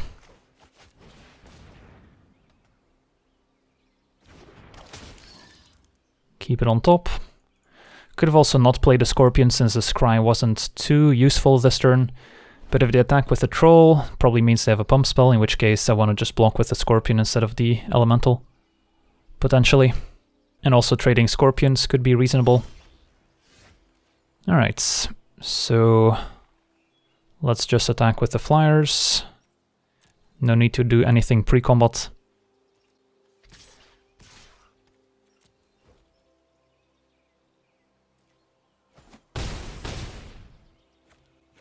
And anything we need to play around, planar cleansing comes to mind. So I could not play the other Season of Growth, so it doesn't die to another planar cleansing if they have it. Seems reasonable. So we'll just uh, play the silver back. We give up on a Scry 1. In the unlikely scenario where they do have a planar cleansing, we at least still have the Season of Growth left in hand as a nice follow-up.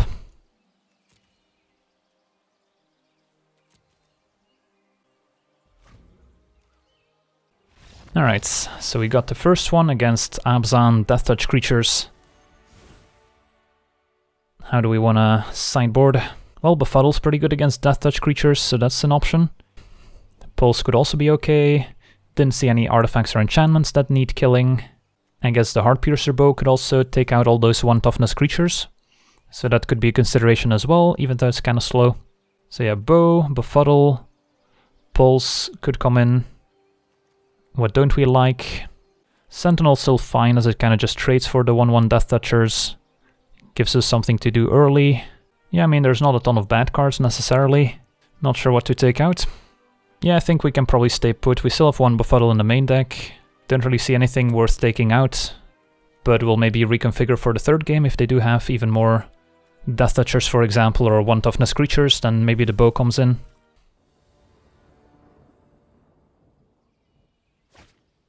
Hand looks okay. Bit creature light, but I don't think we can mulligan.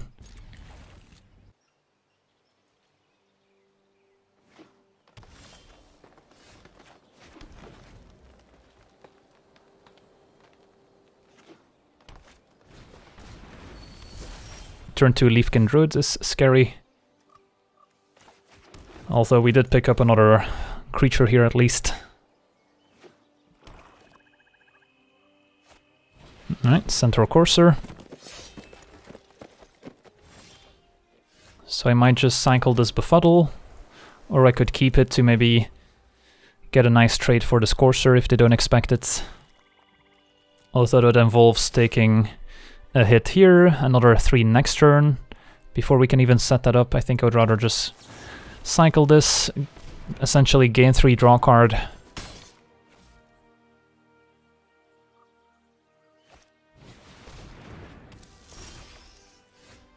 Alright, so Scorpion's a nice one alongside Rabid Bite, although I probably just want to play 4-drop this turn. and then hope they don't have a pump spell, otherwise we could get kinda wrecked.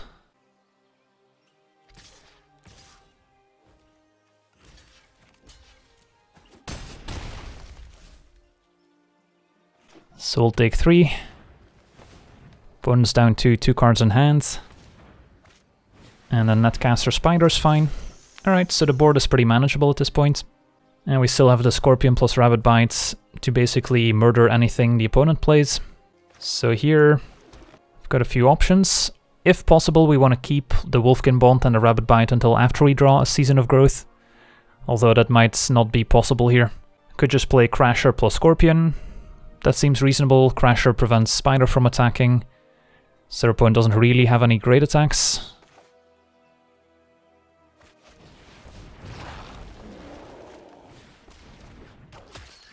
Unless they want to trade for the Scorpion, which I doubt they will. Unless they've got maybe a way to get back a creature from the graveyard.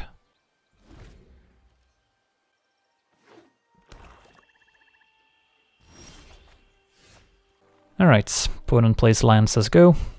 I mean, we can just start activating the tracker here, we're not forced to necessarily do anything.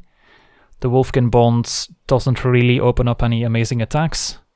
So I think I just start tracking. Although Tracker sadly doesn't find the Season of Growth, which is a card we most want to find. So I think I'm just going to pass a turn. We've got a mana sink, our opponent doesn't. So they kind of have to make the first move. And if we find Season of Growth, that's great, but the Tracker could just find more creatures in general. Octoprophet, for example, lets us scry towards one of those aforementioned cards. Vampire. Alright, I guess we'll take the flyer. And then Elemental plus Invocation could get past the Mammoth Spider. So I could play Elemental right now. Let's just play Elemental.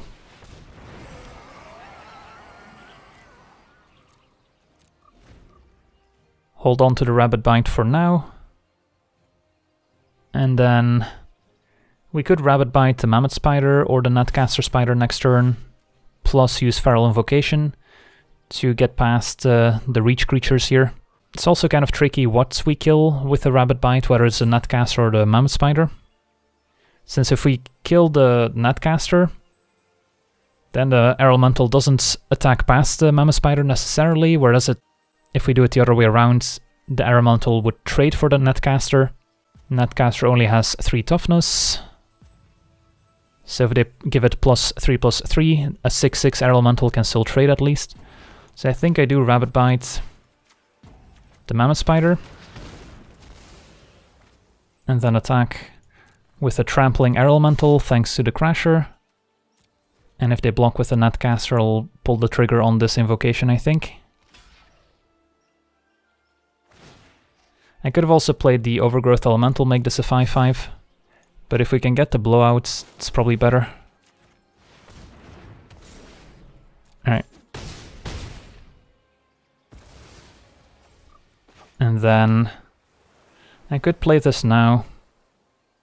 And then just bump the elemental even more. Also, if there's sandbagging, sorcery speed removal for the elemental, then we're kind of putting all our eggs in one basket.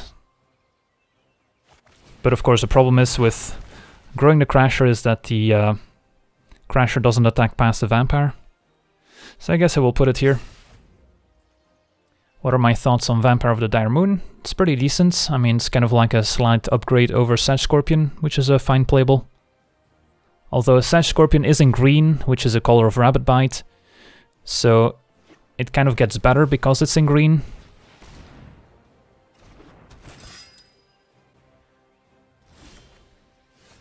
So we could go all in on this Air Elemental and basically have a two-turn clock. I think that's worth it.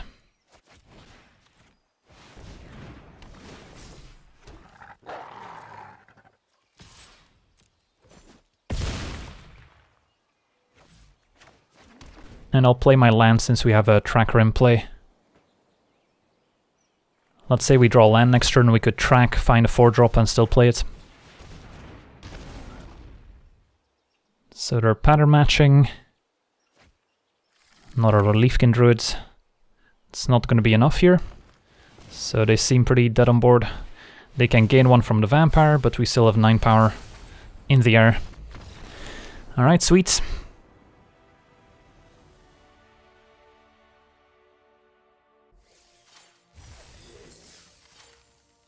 Alright, so we're 3 and 1. Let's see if we can keep it up here.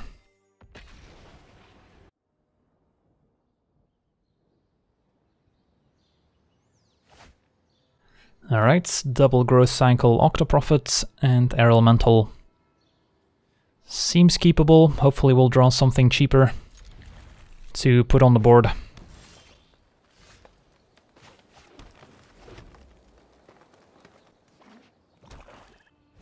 Alright, that's a good one.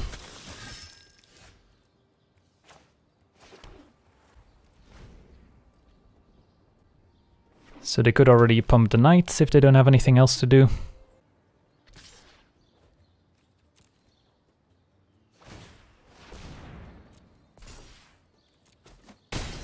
And Death Touch means that uh, it's gonna be difficult to get rid of. So we're hitting our land drops at least, but we're not doing much in the early game.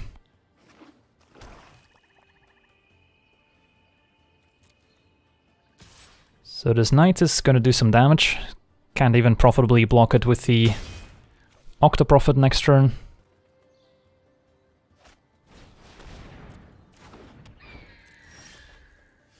Alright, Season of Growth is going to help. So I'll play the Octoprophet, to dig for a Rabid Bite. It's probably the best we can find. Bottom both of those. And then next turn we could Season plus Growth Cycle, or we could just play our 4-4 Flyer.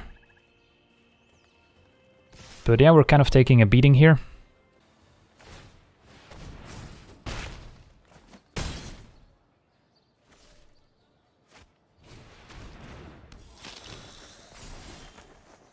Alright, Frost Lynx is going to give us some breathing room.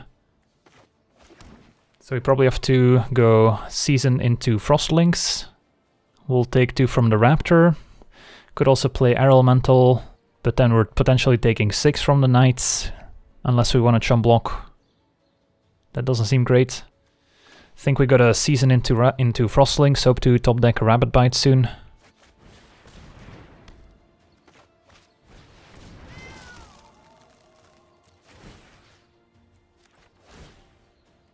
Well, there we go. Keep the Octoprophet back. And then next turn we could Growth Cycle plus Rabid Bite to maybe kill the Knights.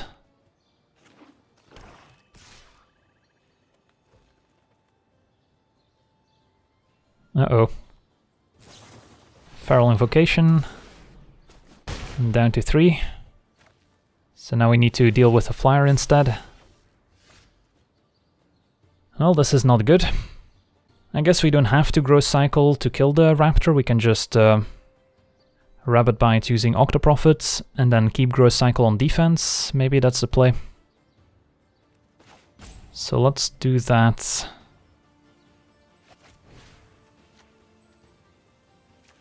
First strike, of course, doesn't matter when fighting, not that Rabid Bite is an actual fight spell. But even if this was like a prey upon, the first rank would not matter. Alright, uh, say go.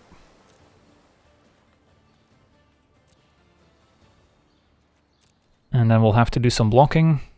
So this can become up to a 7-8. Just attacks with it. I guess never mind, I can pump this twice. So if you double block, use both pump spells, do we kill it then? It's gonna have 11 toughness. I guess we do get to kill it. I guess this is plus 8 by itself. So 11. So I guess technically if they don't have any interaction, we could just block with uh, only the Octoprophets. I think that's the plan.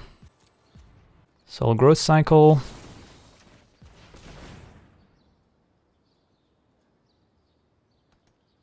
Opponent's gonna pump in response.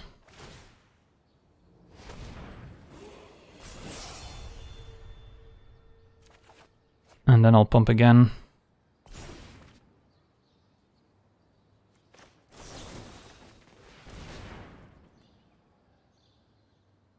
And they can pump again. But that doesn't matter, so they'll probably just let the trade happen. And have 4 mana left. Alright, they don't have any action. Alright, we're kind of doing it here. Get to play Howling Giant here, which seems better than Elemental. And I can even attack for two.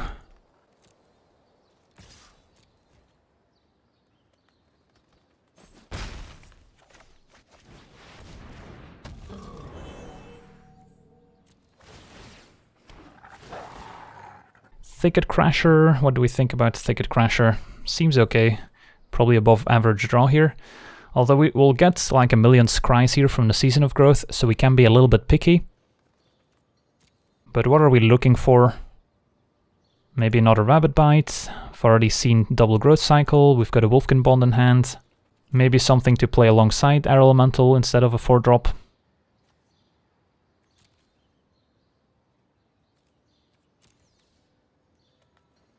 Sedge Scorpion, not quite. Alright, so it's going to be a mystery what we draw here. May or may not be better than a Thicket Crasher. who Wakeroot Elemental. Well, at least they're stuck on double green here, so they're pretty far from using the ability. But that is a good blocker.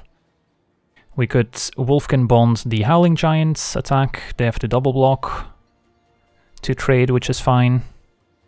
We could just play the Flyer, Still attack with Howling Giant, got plenty of blockers back. And we also get to add Overgrowth Elemental to the board. I think I like developing the flyer here. Bottom the lands. And then I can Elemental putting the counter on the Air Elemental. Which also seems decent. Should have attacked first here since I think I'm attacking with the Howling Giants. That's a good one. Well, now I guess I'll wait, since we can potentially get the blowout if they block.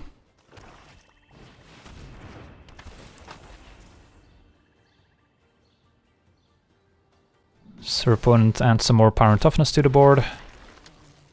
That's fine. Ooh, they're looking at the graveyard. So that probably implies they have maybe a soul salvage, in which case we don't necessarily want to trade off creatures, and we might be better off just sending in the flyer, since we don't want the knight coming back, although wouldn't they have just cast the reanimation spell here if they had one? I could Wolfkin Bond the Air Elemental, makes a 7-7, and I could Invocation as well. So it basically have a 2-turn clock exactly, although they could send the Blood Burglar to gain 2 life, so it's not necessarily lethal. I think I do Wolfkin Bond the Air Elemental. And we could still have lethal next turn with the Invocation. Troll seems okay. Just by attacking with everyone next turn, we could still have lethal. Since their opponent only has four blockers at the moment. Alright, never mind. So had we gone for the invocation, then we could have forced them to attack with the Blood Burglar. Now I'm just gonna hang on to it, since we have a two-turn clock regardless. Opponents doesn't have any amazing attacks, but they're also pretty far away from using the Elemental's ability.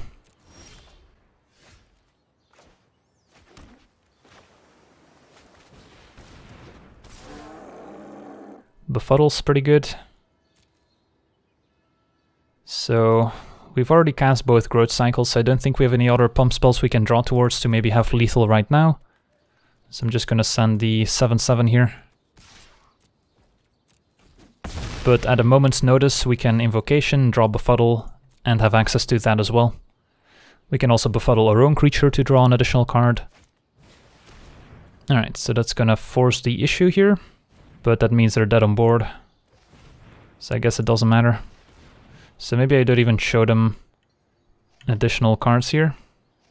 Yeah, because if we draw this, then we'll also have to show them the Befuddle. Yeah, they're just dead here. I'm not gonna show them the additional Befuddle.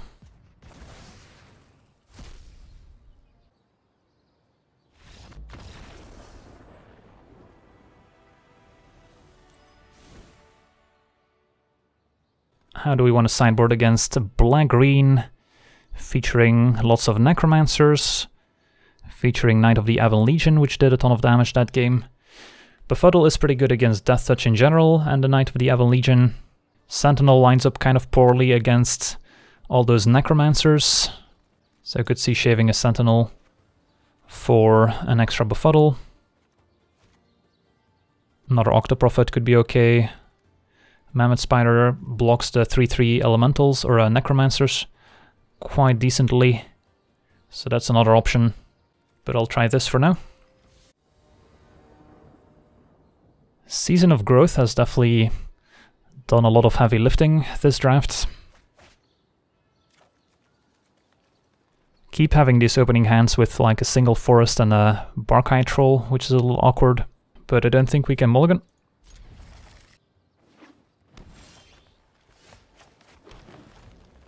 So we kind of want to draw forest, but we also don't want to flood out. Island is the worst draw.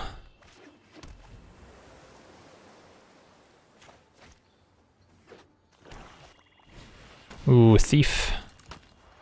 Well, we better draw a forest now. Uh-oh. Well, this thief could get out of hand.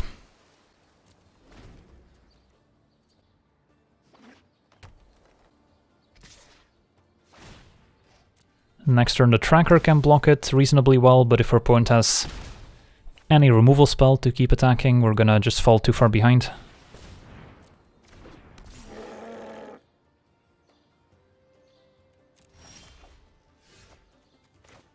So I guess I could also play the Troll, which keeps up the Hexproof ability. So at the very least, if they do have removal, I can still trade for the Thief. Although if we play the Tracker, we also discourage the troll from attacking if they don't have any interaction, and playing the tracker is also more mana efficient, so it's kind of close here. We haven't seen a ton of removal from the opponent in the previous game, but they could have like an Agonizing Syphon, which I guess doesn't necessarily kill the tracker. They could have murder itself. I guess playing tracker is still fine. Disfigure would be reasonable too here. for the opponent. So that could have been a reason to play the Barkhide Troll, but we haven't seen it in the previous game. Disfigure is an uncommon. Alright, looks like the tracker did the job. Okay, so far so good. So now we can Wolfkin Bonds on the tracker, make a 4-6 and a 2-2. Or we can just play Troll and keep up Growth Cycle, which could also be reasonable. We basically just want to make a board stall and then get ahead with the tracker's ability. So we don't necessarily want to add more enchantments onto the tracker in case they do have removal. So I think that means playing Troll.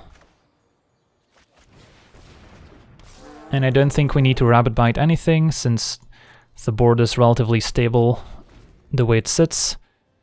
And then we can maybe Wolfkin Bond the Troll and keep up Hexproof. More Mammoth Spiders.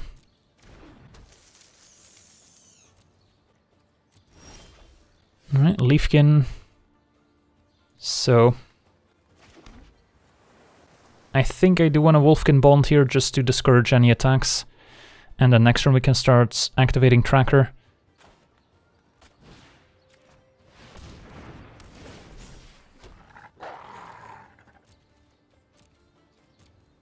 And we get to keep up the hexproof ability on the troll. Alright, they've got their own tracker. Now that is worth killing with a rabid Bite, potentially. And elemental. Alright. So how about we play elemental? Hmm, I guess if we rabid Bite and we don't get to keep up the hexproof ability. So I guess the most conservative play here is just to Leafkin Druid, Rabid Bite, keep up hexproof. That seems reasonable to me. Guess we'll Rabid Bite first.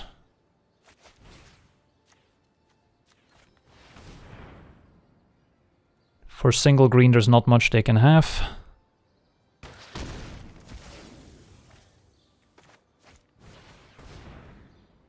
Our opponent did show us the Fen Lurkers. I think I want to keep land in hand to discard or to exile to that effect instead of playing it out here, since now with the Leafkin Druid we'll have plenty of mana anyway.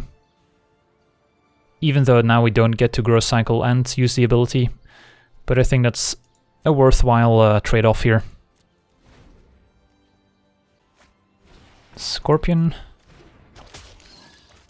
And Champion. Alright, so we're not going to be attacking on the ground anytime soon. Our opponent's got double spiders, so attacking with elemental's is going to be tricky. But now we've got the tracker going, which can draw us a ton of extra cards. I guess we'll play the elemental first. And then I'll play the land now, since the tracker is pretty mana hungry. And we still have a land to exile to the Fen Lurker anyway. Say go. So the board is stalled out. It's not gonna change anytime soon. Not a tracker's bad news, so now we both have one. But we have more mana than the opponent, so we can maybe leverage our tracker a bit better. So I think I main phase it. The 2-4 blocker's not too impactful. Could also attack with the air elemental, to be honest, since even if they double block, our air elemental would survive, but then next turn it just gets blocked. So we just trade a growth cycle for a mammoth spider, and maybe we're better off waiting until we find a uh, season of growth first to get value out of this growth cycle. I think that makes more sense. So let me main phase this tracker in case we find something cheap we want to play right now. Well, not something cheap, but something impactful here. Play a land, say go. No attacks for now. Again, holding on to this uh, pump spell for after a potential season of growth. That's fine. Sleep paralysis. Alright, so now we potentially can get through with the air elemental. If we paralysis one of the spiders and then growth cycle, we basically get rid of both. Or we can paralysis the tracker to disable it. And um, then they won't have a tracker, whereas we do. So we have two approaches. We've got kind of the beatdown approach clear a path for Air Elemental. We've got the approach, deal with their tracker, and be the only ones left with a tracker in play. We don't have much removal in our deck. We've got one more Rabbit Bite. We've got Paralysis, so we do want to be mindful of any bombs our opponent could play that we need to answer. But I don't think we need to prioritize killing Tracker at the moment. So I think we just play the Giant for now.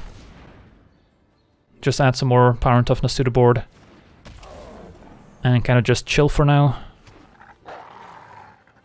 This game could also come down to decking. We'll see. Still keep land in hand for the Fen Lurker, just in case. Alright, Wake Roots could be scary now, as it can make a ton of 5-5s. Don't have a way, an easy way to deal with that. I guess we could Sleep Paralysis the Leafkin Druid, but that seems like kind of an awkward use of a Sleep Paralysis.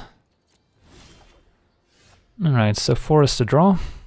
Opponent making 5-5s out of their lands is gonna be an issue unless we find more auras to enchant our creatures with, so we can make a 7-7 for example to hold off all those 5-5s. But eventually this is gonna kill us. I guess I'll track her first still, see what we draw. Do still have a couple seasons of growth lurking uh, in our deck that we could draw at any point. I think Shaman makes a bit more sense here. So we could just tap out for it, shields down on the troll, but it doesn't matter too much now that we have Giant in play as well. I don't think attacking with everyone's great here, with our opponent having a Scorpion and lots of power and toughness. Again, could be aggressive with our uh, Elemental and get rid of these spiders instead. And we might be able to outrace the 5-5s from the Wake Root. For now, I think I'm playing the Shaman. Drawing a Season of Growth would really help in kind of uh, outlining our game plan Jungle Hollow, so now our opponent has another green source, so they just need a single forest before they can use the Wake Root's ability. So I don't think Paralysis on Druid is necessarily the way to go. Opponent misses on Tracker and we find a Season of Growth. Alright, so that's what we needed here. So now we could go on the beatdown with the Air Elemental. So I think I'll start there. Play Season, attack with Air Elemental, see how they respond. And then ideally we draw into another Rabid Bite soon to kill this Wake Root. We've got a bunch of cards at the bottom of our deck that we have seen with the tracker. Don't remember exactly what those cards were.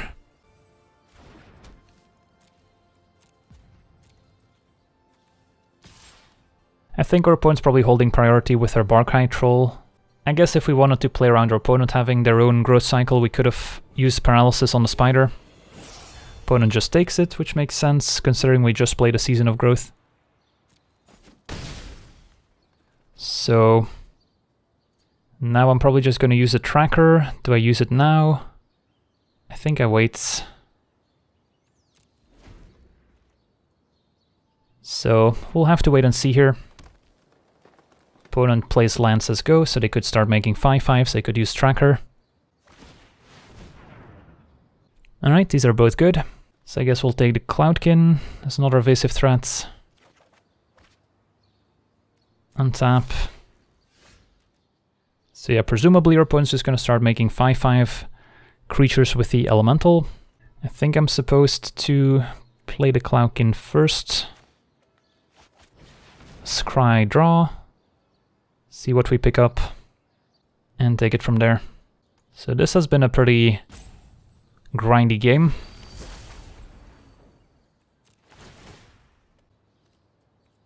Two very creature-heavy decks. Frostlings, alright, that's pretty good. So now we can Lynx probably the Spider. So that even if they have a pump spell, we can beat it. And just try and close out the game with our two flyers.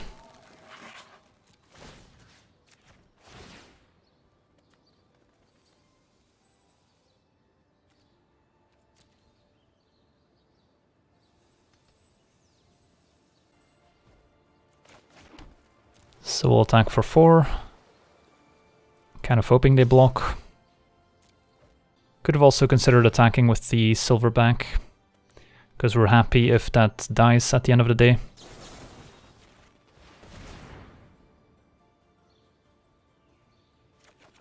Draw lands. So looks like they have a response. Maybe.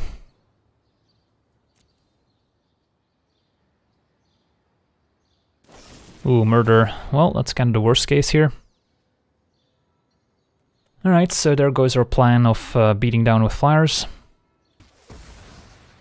So now we have to come up with another plan. We've got 15 cards remaining to our opponent's 20, so we're probably going to be decking first. What other flyers do we have access to? Not too many. Beating this Wake Root Elemental is going to be difficult. Paralysis is not an answer, so we have to hope to draw a rabid Bite or something, kill the Wakeroot and eventually just overpower them on the board. So how does sleep paralysis factor on into the equation there? Probably just hold it for now. But yeah, this is going to be tough. That 4-4 uh, flyer was a big part of our game plan. And eventually the opponent's going to overwhelm us with these 5-5 lands. So not sure how we're supposed to win this one. Pretty much found all the creatures in our deck. We've got a rabid Bite left, a Growth Cycle left, another Season of Growth, bunch of lands on the bottom, and these are just going to be too many 5-5s to deal with, so yeah, the first order of business is hope to top deck or second rabid Bite to kill the Wakeroots. But then Cloudkin still needs to get past Double Spider, which is going to involve maybe paralysis on one of them and then a growth cycle to get past the other one. So I think that's how we need to win this game. So yeah, step one is rabid Bites. Another growth cycle. I guess we might as well go for the attack here. Do we also send a silverback? I think I would rather have it on defense now to trade off for a 5-5.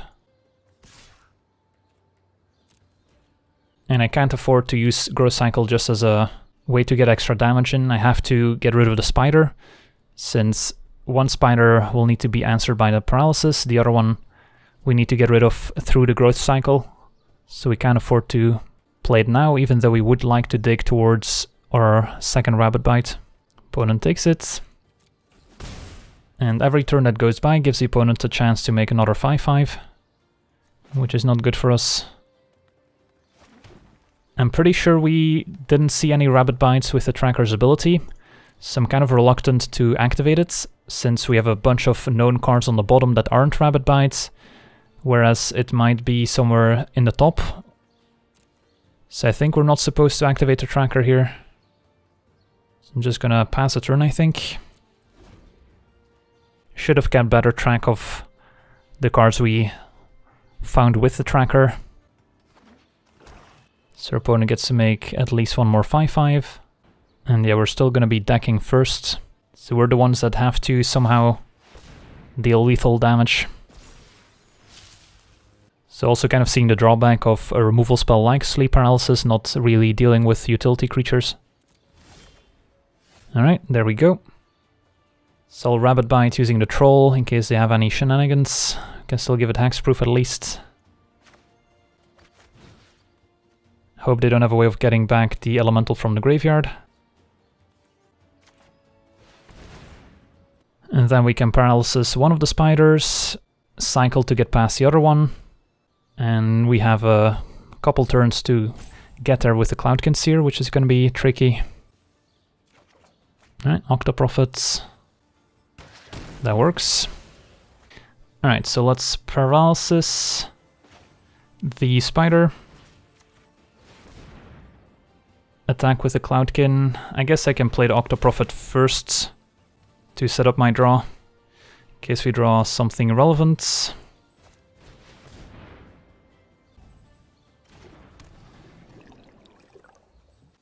I guess I'll do the Scry 1 before the Scry 2. Befuddle seems relevant. Can maybe beat the Death Touch Scorpion or shrink down a 5-5. And then do we want the Crasher? Don't think that does much for us. And then I'll attack with the Cloudkin. Hope they don't have another murder.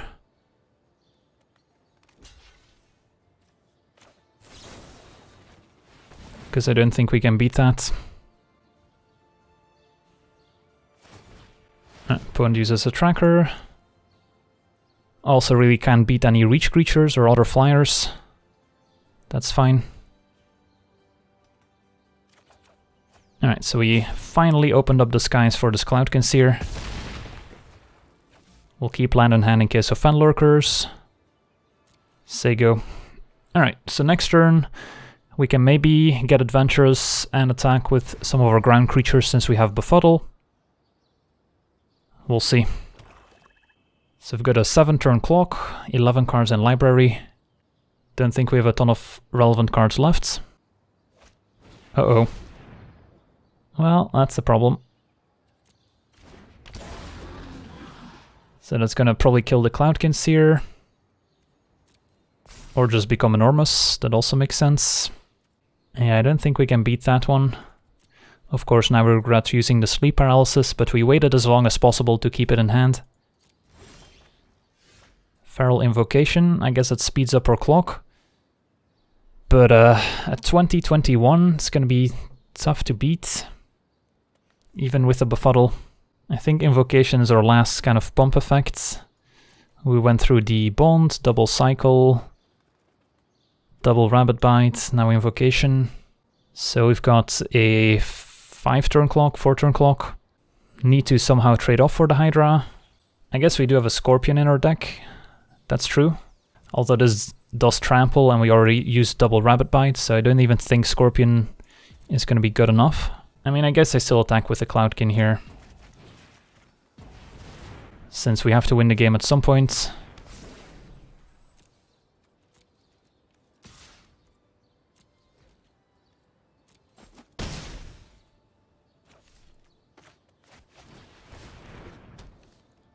So yeah, I could activate Tracker to dig for Scorpion, but I don't think it's gonna be good enough, even if we find it.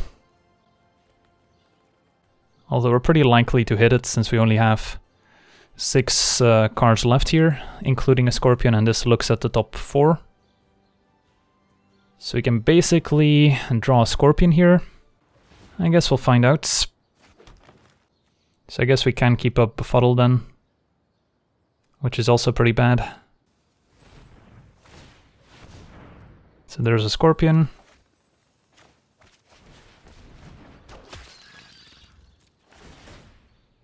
Sure. Can speed up our clock a little bit too, give us a two-turn clock in the air. But I don't think we're surviving this attack. Yeah, and they still haven't drawn their uh, one-mana vampire. That's gonna be difficult to beat as well. Alright, opponent's digging. Oh yeah, blocking here is gonna be pretty tricky, so they do find a Knight of Ebon Legion, which is also a threat by itself.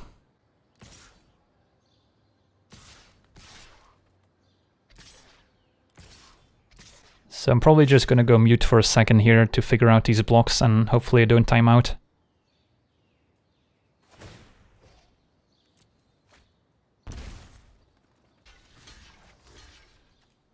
This can trade.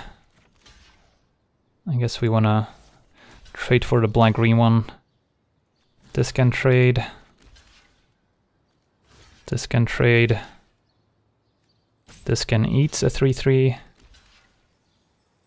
This trades and this triple blocks.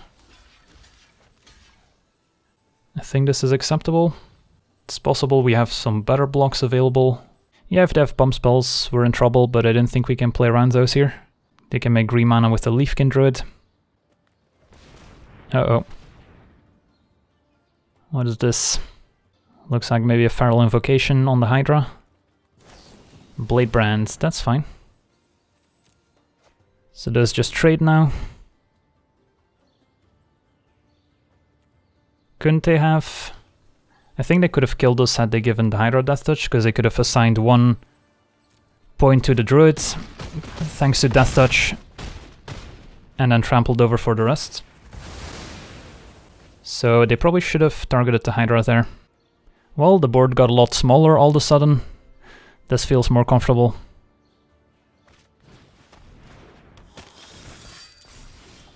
Alright, so I think we have to go for this two-turn clock with the Cloudkin. Do we have enough back to survive? We'll have uh, three blockers plus a befuddle, six cards remaining. It's gotta be good enough.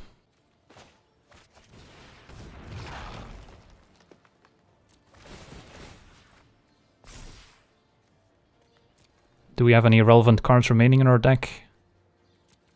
I guess the, the creature there.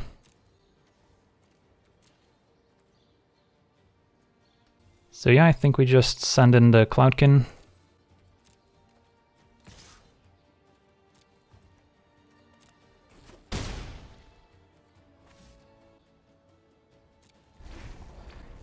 Say go, and hope they didn't draw anything useful. But uh, if this last card is nothing backbreaking, and if they don't find anything with the tracker, we would have a lethal next turn.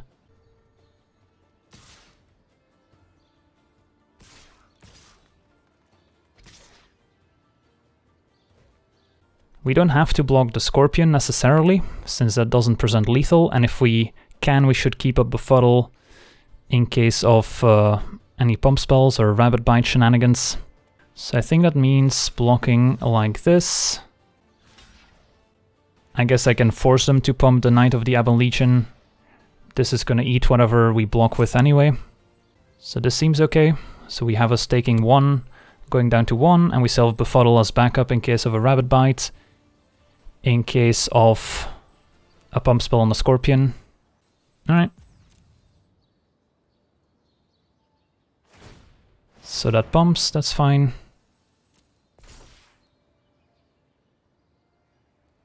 Alright, I think we can go to damage.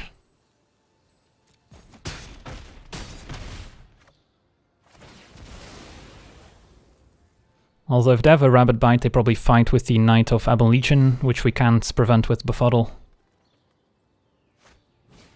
Thief, yep. No. the trample. The trample's gonna be relevant. Wow. What a game.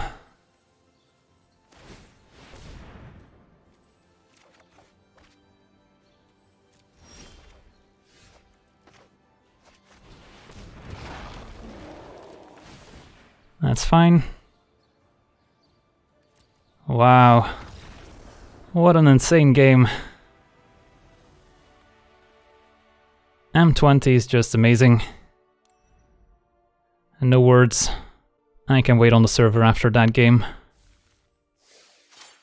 Alright, are we ready chat for the last match of this pretty epic draft? Let's go.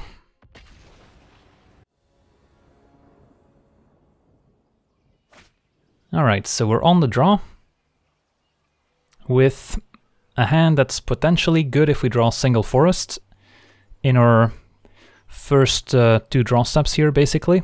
I've got nine green sources in the deck, so we could get there. If we don't draw green source right away, even if we draw it by turn 3, turn 4, we could still be in reasonably good shape.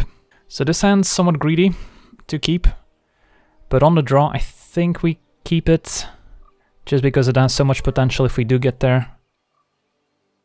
I'll try it.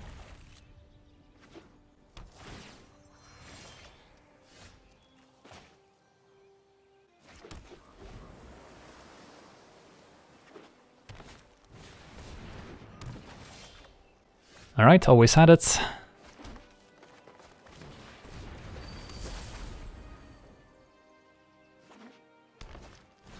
Alright, looks like our opponent's got a combo here, bow plus Vial of Dragonfire.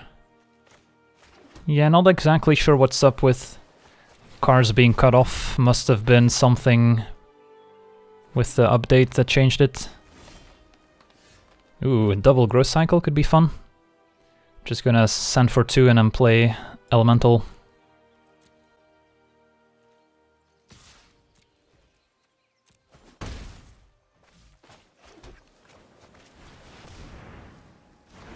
No convolutes, that's good. You know, the sand could really use a season of growth. But uh, as it stands, we're still doing fine. So, let's see. If I Wolfkin Bond, we'll get a fourth creature to make double green with a Leafkin Druid. Opponent does have 5 mana up, which is a little bit sketchy to like go for the Wolfkin Bond. But I think I do want to play it. They didn't have a counterspell last turn. So I think I go for it and then probably target the tracker in case I do deal with the elemental somehow.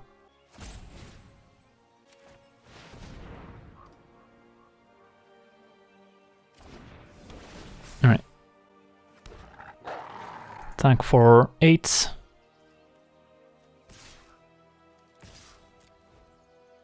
And then next turn we could just kill them with all these pump spells.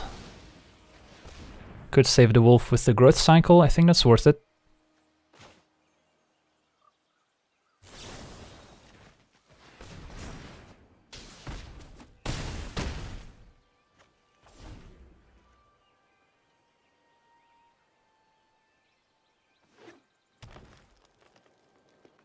Alright, 6 mana, opponent says go. So if we send...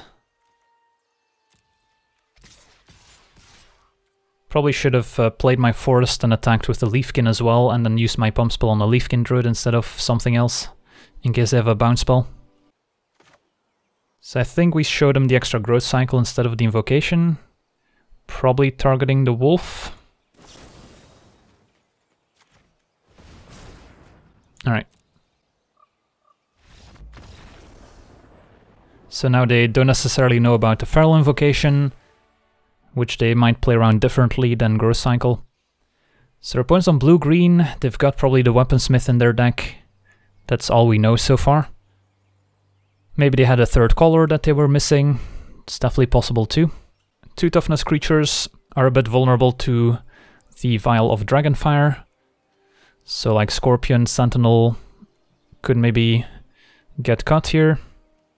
Although against a green deck, having a Death Touch creature to go with Rabid Bite can be pretty valuable if we need to take care of something big. So I don't think I make any changes. Naturalize can take out one of those artifacts, but usually we can uh, deal with them. I guess against the bow, Scorpion's not the best. So I guess it's two strikes against the Sedge Scorpion so maybe I should take it out. And then make room for either another Octoprophet. I could add a Naturalize, Mammoth Spider. If our opponent's playing blue, they'll probably have some flyers. And try this.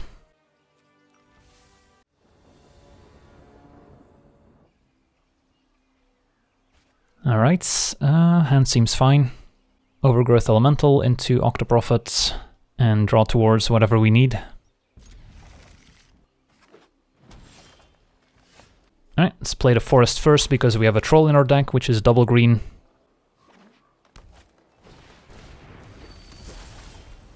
Turn 2 Leafkin Druid is pretty scary.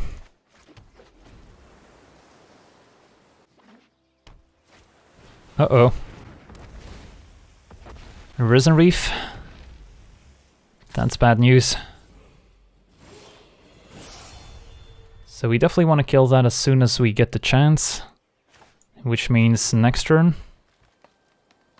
No elementals to go with the overgrowth elemental yet, but I think I still run it out there over the sentinel.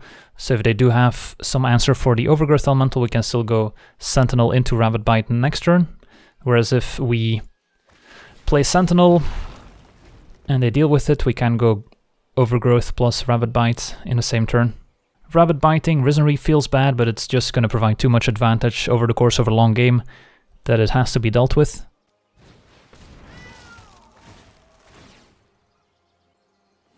Alright, so Risen Reef already drawing the opponent two cards. Let's uh, keep it at two if we can.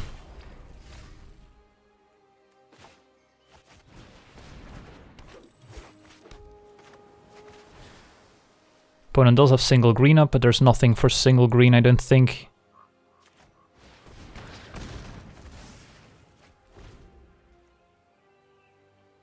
Alright, so We had to use one of our premium removal spells here to deal with the Risen Reef. Don't really like blocking when we're holding a growth cycle. And our opponent could have their own trick. Gifts could also indicate a splash, although so far we haven't seen any third color and an Octoprophets. One top, one bottom. Alright, Silverback was a good one. I think I attack with both. If they block, I growth cycle. They probably just take it here. Although maybe I shouldn't be attacking, because I, I really want to play the Shaman here instead of having to use Pump Spell on the Sentinel. This is fine, this I can let happen. Alright, that's fine too. So I'm just going to play the Silverback here.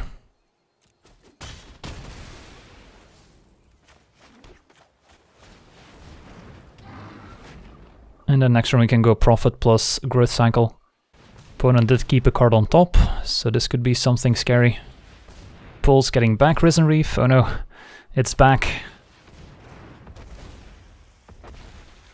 Opponent's at uh, a million life. It's gonna be difficult to really race them before they just drown us in card advantage. And we only have one Rabid Bite left in our deck to deal with the Risen Reef.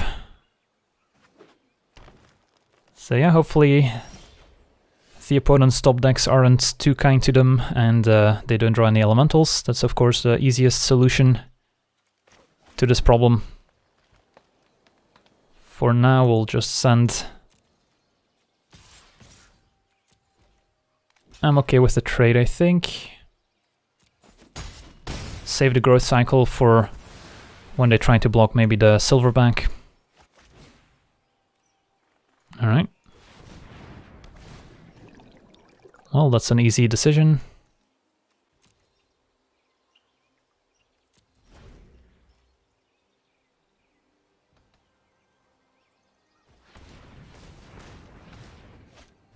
Well, that's an elemental.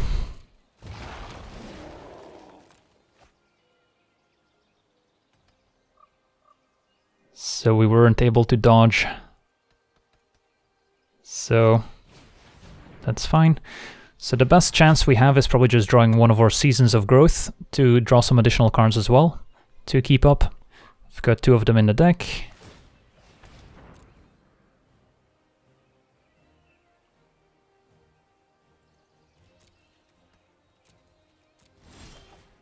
Alright, that's the reasonable too.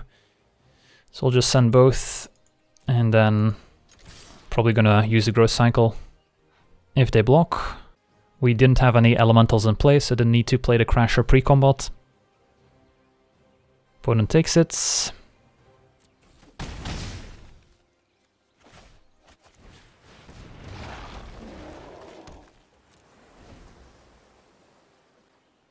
Opponent of course knows about Growth Cycle, we cast two of them in the last game. Vile. So now they could combine Vile plus the bow to shoot down a 3 toughness creature. But uh, the growth cycle could save the Crasher. And block their Crasher. So this seems okay.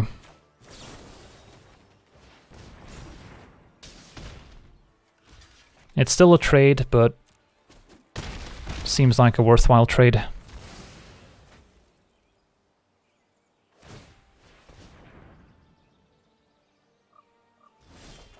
Alright, well, scrying two lands to the bottom, hopefully we don't flood out. But we are ahead on board. But any elemental off the top and the tides can uh, change pretty quickly here. Alright, opponent is jumping down to 12. We'll keep the land in hand to keep them on their toes. Opponent gives us a GG. I guess that's a good sign. And Tracker was a good draw here too. I'll play out my land now, because we have the Tracker going. Might need the extra mana. Alright, Spider. Blocks pretty well here. But that's a pretty good draw too. So what happens if we attack with everyone? That seems decent, since they probably have to put the spider in front of the silverback anyway. Because this tramples, so they can go block, block. So I think we're supposed to send everyone. Even though they could have interaction in hand, which could make this a reasonably bad attack. But given the follow-up in our hand, I think we'll be okay.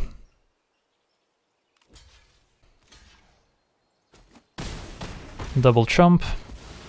And in blue-green, even with the Gift of Paradise giving access to all colors, don't think there's anything that really punishes us for playing this.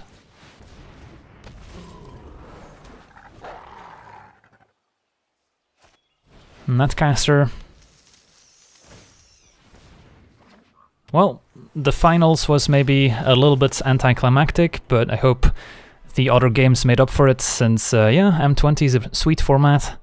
Lots of close and interesting games. And we got to another five wins. Alright, let's claim our prize. And crack some packs.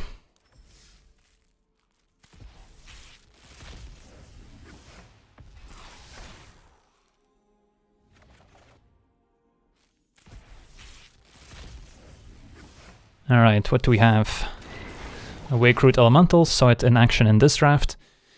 Can be good if the board stalls out, although again, 5 green mana is not easy to find in any deck. Anything else in this pack that stands out? The Audacious Thief, pretty good, especially if you can combine it with a Smuggler. So those would be the two considerations in that pack. Alright, Shared Summons, haven't seen this in action yet. 5 mana instant, search your library for up to 2 creature cards with different names and put them in your hands. Could be okay. It's like kind of a slow slow card, but it does kind of give you a two for one. Can find two creatures. Presumably you've got one big one that uh, can kind of win the game for you. So seems okay. The alternative here is probably Flame Sweep and Reduce to Ashes as two nice red cards, and even the Frostlings in blue is worth mentioning.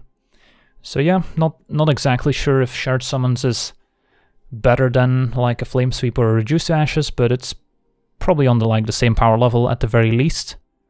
The format seems pretty grindy, so spending 5 mana not affecting the board would normally be pretty bad, but in this format you can probably get away with it more often than not.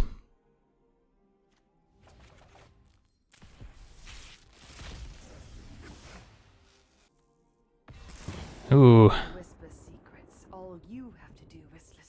Well, this Planeswalker is pretty busted if you can protect it. And of course the plus 2 kind of helps you with that as well. can pretty easily make the first elemental, and then it's also not too difficult to kind of string together a couple of the 4-4 elementals. The fact that the flyer is an elemental also has some elemental synergies. So yeah, this card seems pretty good for limited. Just gotta make sure you have enough early plays to kind of gum up the, the board so your planeswalkers not too vulnerable. And what else? Chandra is also excellent. The Fenlurker is okay. Got some other nice ones, Bone Splinters, Scorpion, Winged Words, so pretty stacked pack overall, but would definitely still take the Mythic Planeswalker here.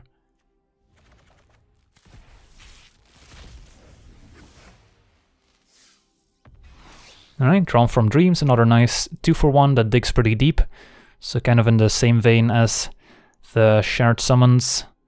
So pretty decent card, especially if you have ways to get it back from the graveyard. There's a few of those in blue at uh, Uncommon. The Wave Crasher is also quite decent.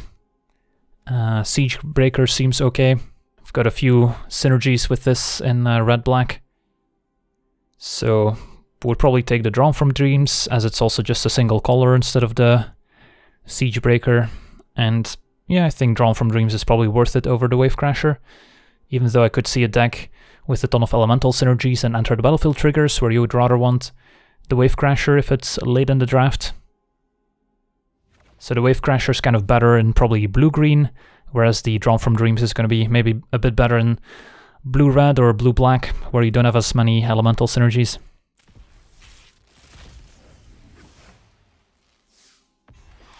Repeated Reverberation, not an easy card to set up. requires a lot of mana and a lot of instants and sorceries. So I don't rate this particularly highly, but of course the payoff is there if you can make it work. Uh, anything else that stands out? This isn't too exciting. So yeah, kind of an underwhelming pack. Fencing Ace can be kind of a build around if you put some enchantments on it or some equipment. So, not sure what I would take, but uh, definitely a lot weaker than some of our previous packs.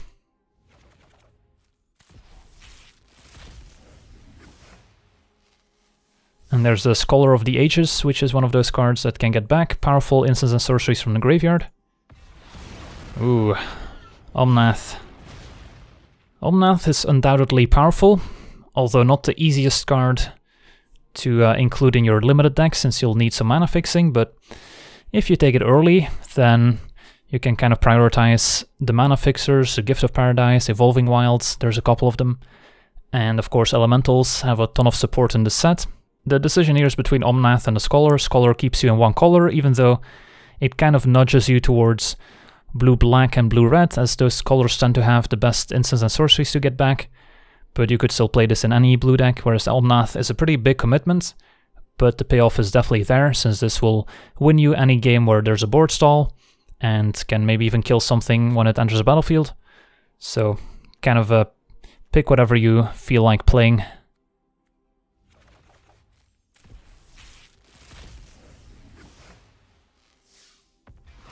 Temple of Melody, again, temples are totally fine, even if you only have one color that overlaps with it, just as a scry one to improve your draw. Um, this is a good sideboard card, I wouldn't main deck these types of cards. It's different with the creatures, but the spells themselves I wouldn't recommend main decking. Uh, Boreal Elemental and Leafkin Druid are probably the candidates out of this pack over the Temple. And uh, yeah, both are quite good. Leafkin Druid just giving you a relevant 2-drop, there's not a ton of those in the set. And also Elemental for elemental synergies, mana creatures are always good. So the Leafkin Druid has a lot going for it. And then the Boreal Elemental is a difficult to deal with flyer, which is also great. So both cards are excellent here. And then I guess Might of the Masses, if you're in a Go White deck, can be pretty strong. But I haven't seen or encountered many Go White decks yet, so maybe those are a bit more difficult to assemble.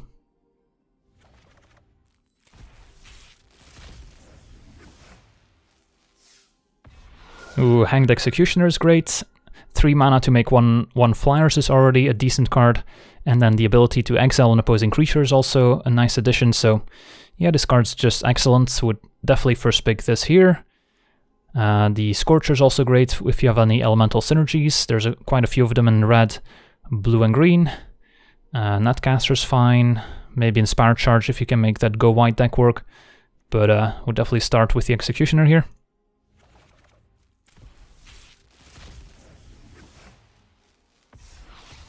Another shared summons and a wave crasher. Anything else? Siege breaker. So yeah, one of these three cards, depending on your mood, I guess, would be fine. So yeah, want to thank everyone for watching, hope you enjoyed, and as always, have a nice day. I also want to thank all my patrons for being part of the channel, and you can become a patron yourself today and decide the topic of future videos over at patreon.com forward slash legendvd.